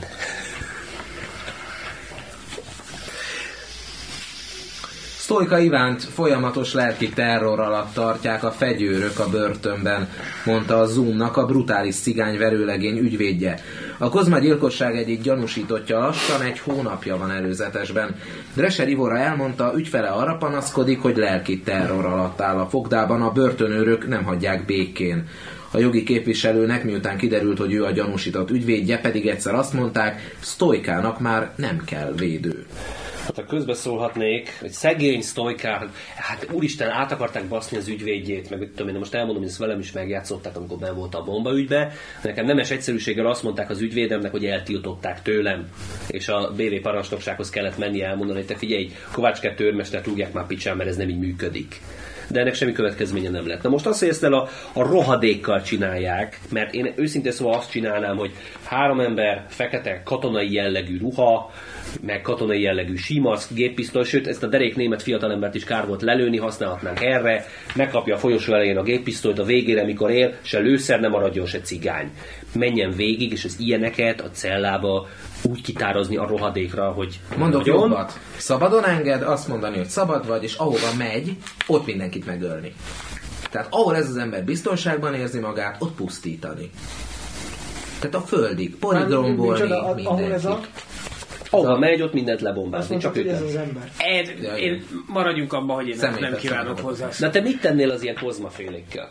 A kozmaféle úgy várják. A nem, föl kell pofozni és fölvenni mobiltelefon. Kozmaféléket szeretjük, a sztojkaféléket nem szeretjük. Vagy bocsánat, kevertem, tehát kozmagyilkos, mindegy. Na, tehát mit tenni az ilyen sztojkafélével? Ugyanis a feladat nem csak az, hogy őt úgy kivonjuk a forgalomba, hogy te figyelj, rosszat csináltál, ülj be oda a csapdába, jó ajtórácsok, köszi. Nem, hanem Minden azt kell csinálni, azt kell csinálni, hogy az összes bodzaszedő, az lássa azt, hogy hú, bassza meg a sztojkával, mit csináltak, Jézusom, ezt, ú, bazd meg. Nehogy, mi nehogy azt csináljuk, amit ő, mert minket... Szerinted élve nyúzzuk meg, nyomjuk ki a szemét? Egyébként lehet, hogy 15 darab tisztességes bodzaszedő közé zárnám. Na például nem rossz, de az, tehát ők mit fognak vele csinálni szerinted? Ö, feltehetően azt, amikor mondjuk egy adott hely, adott fogdájába a 32 darab betörő közé bekerül egy ugyanonnan, ugyanabból a társaságból származó valaki, aki mondjuk egy kislány bántott. Körülbelül támogatom az ötletet, Most de... már ez sem működik egyébként benne, sajnos. Igen, mert annyi kislány bántalmazó van. Alapvetően mi bajod a géppisztolyos megoldással? Mert számos országban működött egyébként, és erről, erről is beszéltünk már, de most már nem ismétlem. Nem tudom, én azt a... Na tessék, az anarchista hogy kezeli a bűnözést? Az Különösen a szervezet bűn, bűnözést. Tehát ott az anarchia, kis, kis mindenki jó hiszeműen segíti a másikat. Igen, ám, de kitalálja valamit. Vörös fekete zászlót, lóbál a tömeg. Úgy van, úgy van. De tömeg nincs, meg kis sejtek vannak minden. Felhívjuk a Várbermegy csoportot, na hát. De nem, tényleg, tényleg, most gondolj bele, hogy megvalósul ez a, ez a szimbiogazdasági rendszer, vannak a kis, mindenki kis farmok. Nincs rendőr, falu, nincs tanár. Nincs rendőr, nincs katona, mindenki... De senki nem mondta azt, hogy nincs rendőr, és nincs katona, és nincs tanár. Jó, hát ha van, akkor nincs anarchia, mert ez már államot feltétlenül. Szóval nem, nem, értem. nem feltétlenül, tehát a, a közösségben van tanító, a közösségben van az, aki vigyáz a közösségre. Igen ám, de... Ez kurva jó, a South Parkban esküszöm ugyanez van, tehát hogy nem. ugyanez volt, Tudod, hogy, hogy a gyaloggalom. De komolyan, tehát, tehát, ezt a baromságot, hogy nézd, ő az ember, aki vigyáz ránk. Ő, nem a rendőr? Nem, ő de az ember, aki vigyáz ránk. De és ez az ember, aki tanít. Ez nem a tanár. Nem, ez aki tanít minket. Mit adtak oh. nekünk a rómaiak? Igen. Békét hoztak.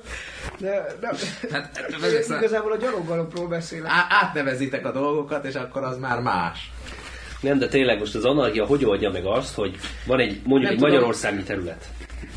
Ja, hogy mutogatja, Igen, hogy... húgyoznom kell.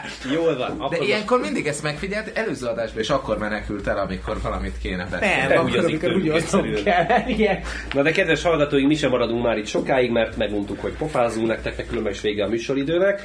Bogárt elment húgyozni, úgy látszik ő így. De engem megnyugtat ez a, ez, a, ez a fölény, amit, amit, eh, amit, amit elértünk. Hát mert hárman nem, körbevettük, és nem tud, nem, terrorizáljuk lelkileg. Legközelebb az lesz, hogy beültetünk ide egyedül, és hívunk három balliberálist. Nem tudom, kedves nem, hallgatók, mit szólnak egy ilyen. legrosszabb esetben, hogyha a vesztés ráhányják, akkor, akkor, akkor ütnék. Tudod miért? Egy piros, egy, piros, egy fehér és egy zöld galambot ide. Nem tudsz így csinálni. De nem, hát nem, nem lenne semmi gond. Jaj, hadd mondjak már valamit, elfelejtettem. Mondjad. Bár le, biztos lesz, aki komolyan veszi majd ezt a 12 pontot, én mégis arra buzdítok mindenkit, hogy minél többen jöjjenek el. 15-én ez már hallgatható lesz, ugye, vagy akár már előbb is. Március 15-én tartja a Magyar Gárda immáron az ötödik avatását. A Hősök terén délután egy Egyszer órakor. csak sikerül. Nem vettél észre, hogy mindig ugyanazok vonulnak be? De ciki... Mm, Nem, néha más a sapka. Jó, persze. meg a füstszűrő. Tehát Hősök tere délután 1 óra, de inkább 12.45. Ö, Majd utána 15 óra 30-tól a Deák térnél lesz a Jobbiknak egy ilyen EP kampányító gyűlése. Meg lehet tapogatni Morvai Krisztinát. Hát, Tomket nagyon szeretné megtapogatni Morvai Krisztinát, végül Nem. is Atina is jogász, nem? Igen, de azért Tehát, na. aha, tehát itt, itt van ilyen eu- eurofil Igen, persze. Meg. Friszám, meg minden. Ugye, nem is, nem is, magyar, gyertek- nem is igazi magyar, aki nem szerelmes Morvai Krisztinába, maradjunk ennyiben. Én nem vagyok szerelmes. Nem vagy igazi magyar, és nem vagy katolikus se. Hát most miért nem jött még el az adás? Megígérte egyébként. Ő haragszik most ránk. Hát haragudjon, hát attól még eljöhet. Ja, jó. Hát ennek ahhoz semmi. No, tehát gyertek minél többen, mert az jó, meg szép lesz, meg, meg tényleg nagyon jó. Bogár, te elmész a gárdalgatásra? Nem. Miért? Mert anarchista, nem hisz a gárdákban, se az avatásokban, De ők az emberek, akik se vigyáznak. a terekben, se az utcákban. Le, legyen pusztaság, meg szex. Legalább semmiről. Jó, de hol játszunk rock and roll-t? Meg mind. Esik az eső, megázik a hangszer. Ha, ha, hadd meséljek egy érdekes sztorit. Akkor az ő várja, az ős magyarok lehet, hogy anarchisták voltak. Pusztán nyomták a rock'n'roll. Igen, hát szabadon ott a pusztán. Tolták hozzá a varázsgombát, mi? Simán. Na, mondj egy történetet, ne végül. Nem, nem történt, csak 15. Érdekes, mert ugye van egy Event Staff nevű KFT, ezt valószínűleg ismeritek. Azok, Hogyne. Azok a srácok, akik a kordonokat, meg mindenféle okosságot szokták a rendőrségnek adni, mások is szoktak tőlük bérelni. Na most március 15-ére a BRFK kibérelte a cégnek az összes fellehető kordonját. Tehát Azt meg, miért gyakorlatilag nem minden rendezvény... árulni? Igen, 2006-ban tévéosramnál mennyit hazavihettünk volna. Meg még vízágyút is. Én azt sajnálom egyébként, hogy ez a vasas cigány, akit hívtunk, az nem ért oda időbe a trailerrel, elvitték a vízágyút, amit kilőttünk a tévészékhez. Az milyen vicces lett volna. Reggel elviszik Van a cigányok. Ne, elvitték volna, nem, az már vas volt, aztán a rendőrség kijavította jó pénzért, aztán még megvettek két Izraelit is, de hát ezt mindenki tudja. Na, kedves hallgatóink, Bombagyár Rádió minősítetetlen 63. adását ezennel lezárom.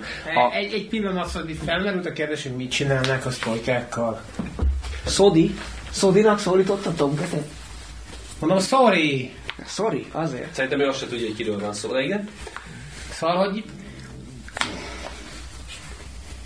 nem, én nem hiszek a halálos ítéletbe, de hogyha a sztolykákat mindenképpen ilyen szinten kívánjátok, vagy azt gondoljátok, hogy ez megoldáshoz vezet, akkor talán az egész rendszert, amiben a szervezett bűnözés létezhet, ugyanerre a sorsra kellene. Így van. Mi az a rendszer, amiben nem létezik a szervezet bűnözés? Ez minden De hát rendszer. olyan nincs. Tehát minden rendszert meg kell szüntetni? Vaj. Mert megint kitekered a mondatot. El se akarom hinni, hogy én ismerek anarchistát. Jézusom. Nem tudom elhinni. Azt mondta, hogy Közben Jehova. Kezd bonyolult lenni a dolog, én ebben nem hiszek, szerintem... Nem, én nem mondtam azt, hogy Jehova, én csak ettem azt a lapos halat, és azt mondom, hogy ez annyira jó, hogy még Jehova is megirigyelni. Persze nem biztos, hogy pontosan így. Jehovának is ízlene, de nem vagy. Na, köszönjük szépen a részvételt, most már tényleg befejezzük az adást. Sziasztok, szebb jövőt! Szebb jövő. A bombagyár erre a hétre befejezte működését. Legközelebb a jövő héten hányjuk tele a mikrofon. Szebb jövőt!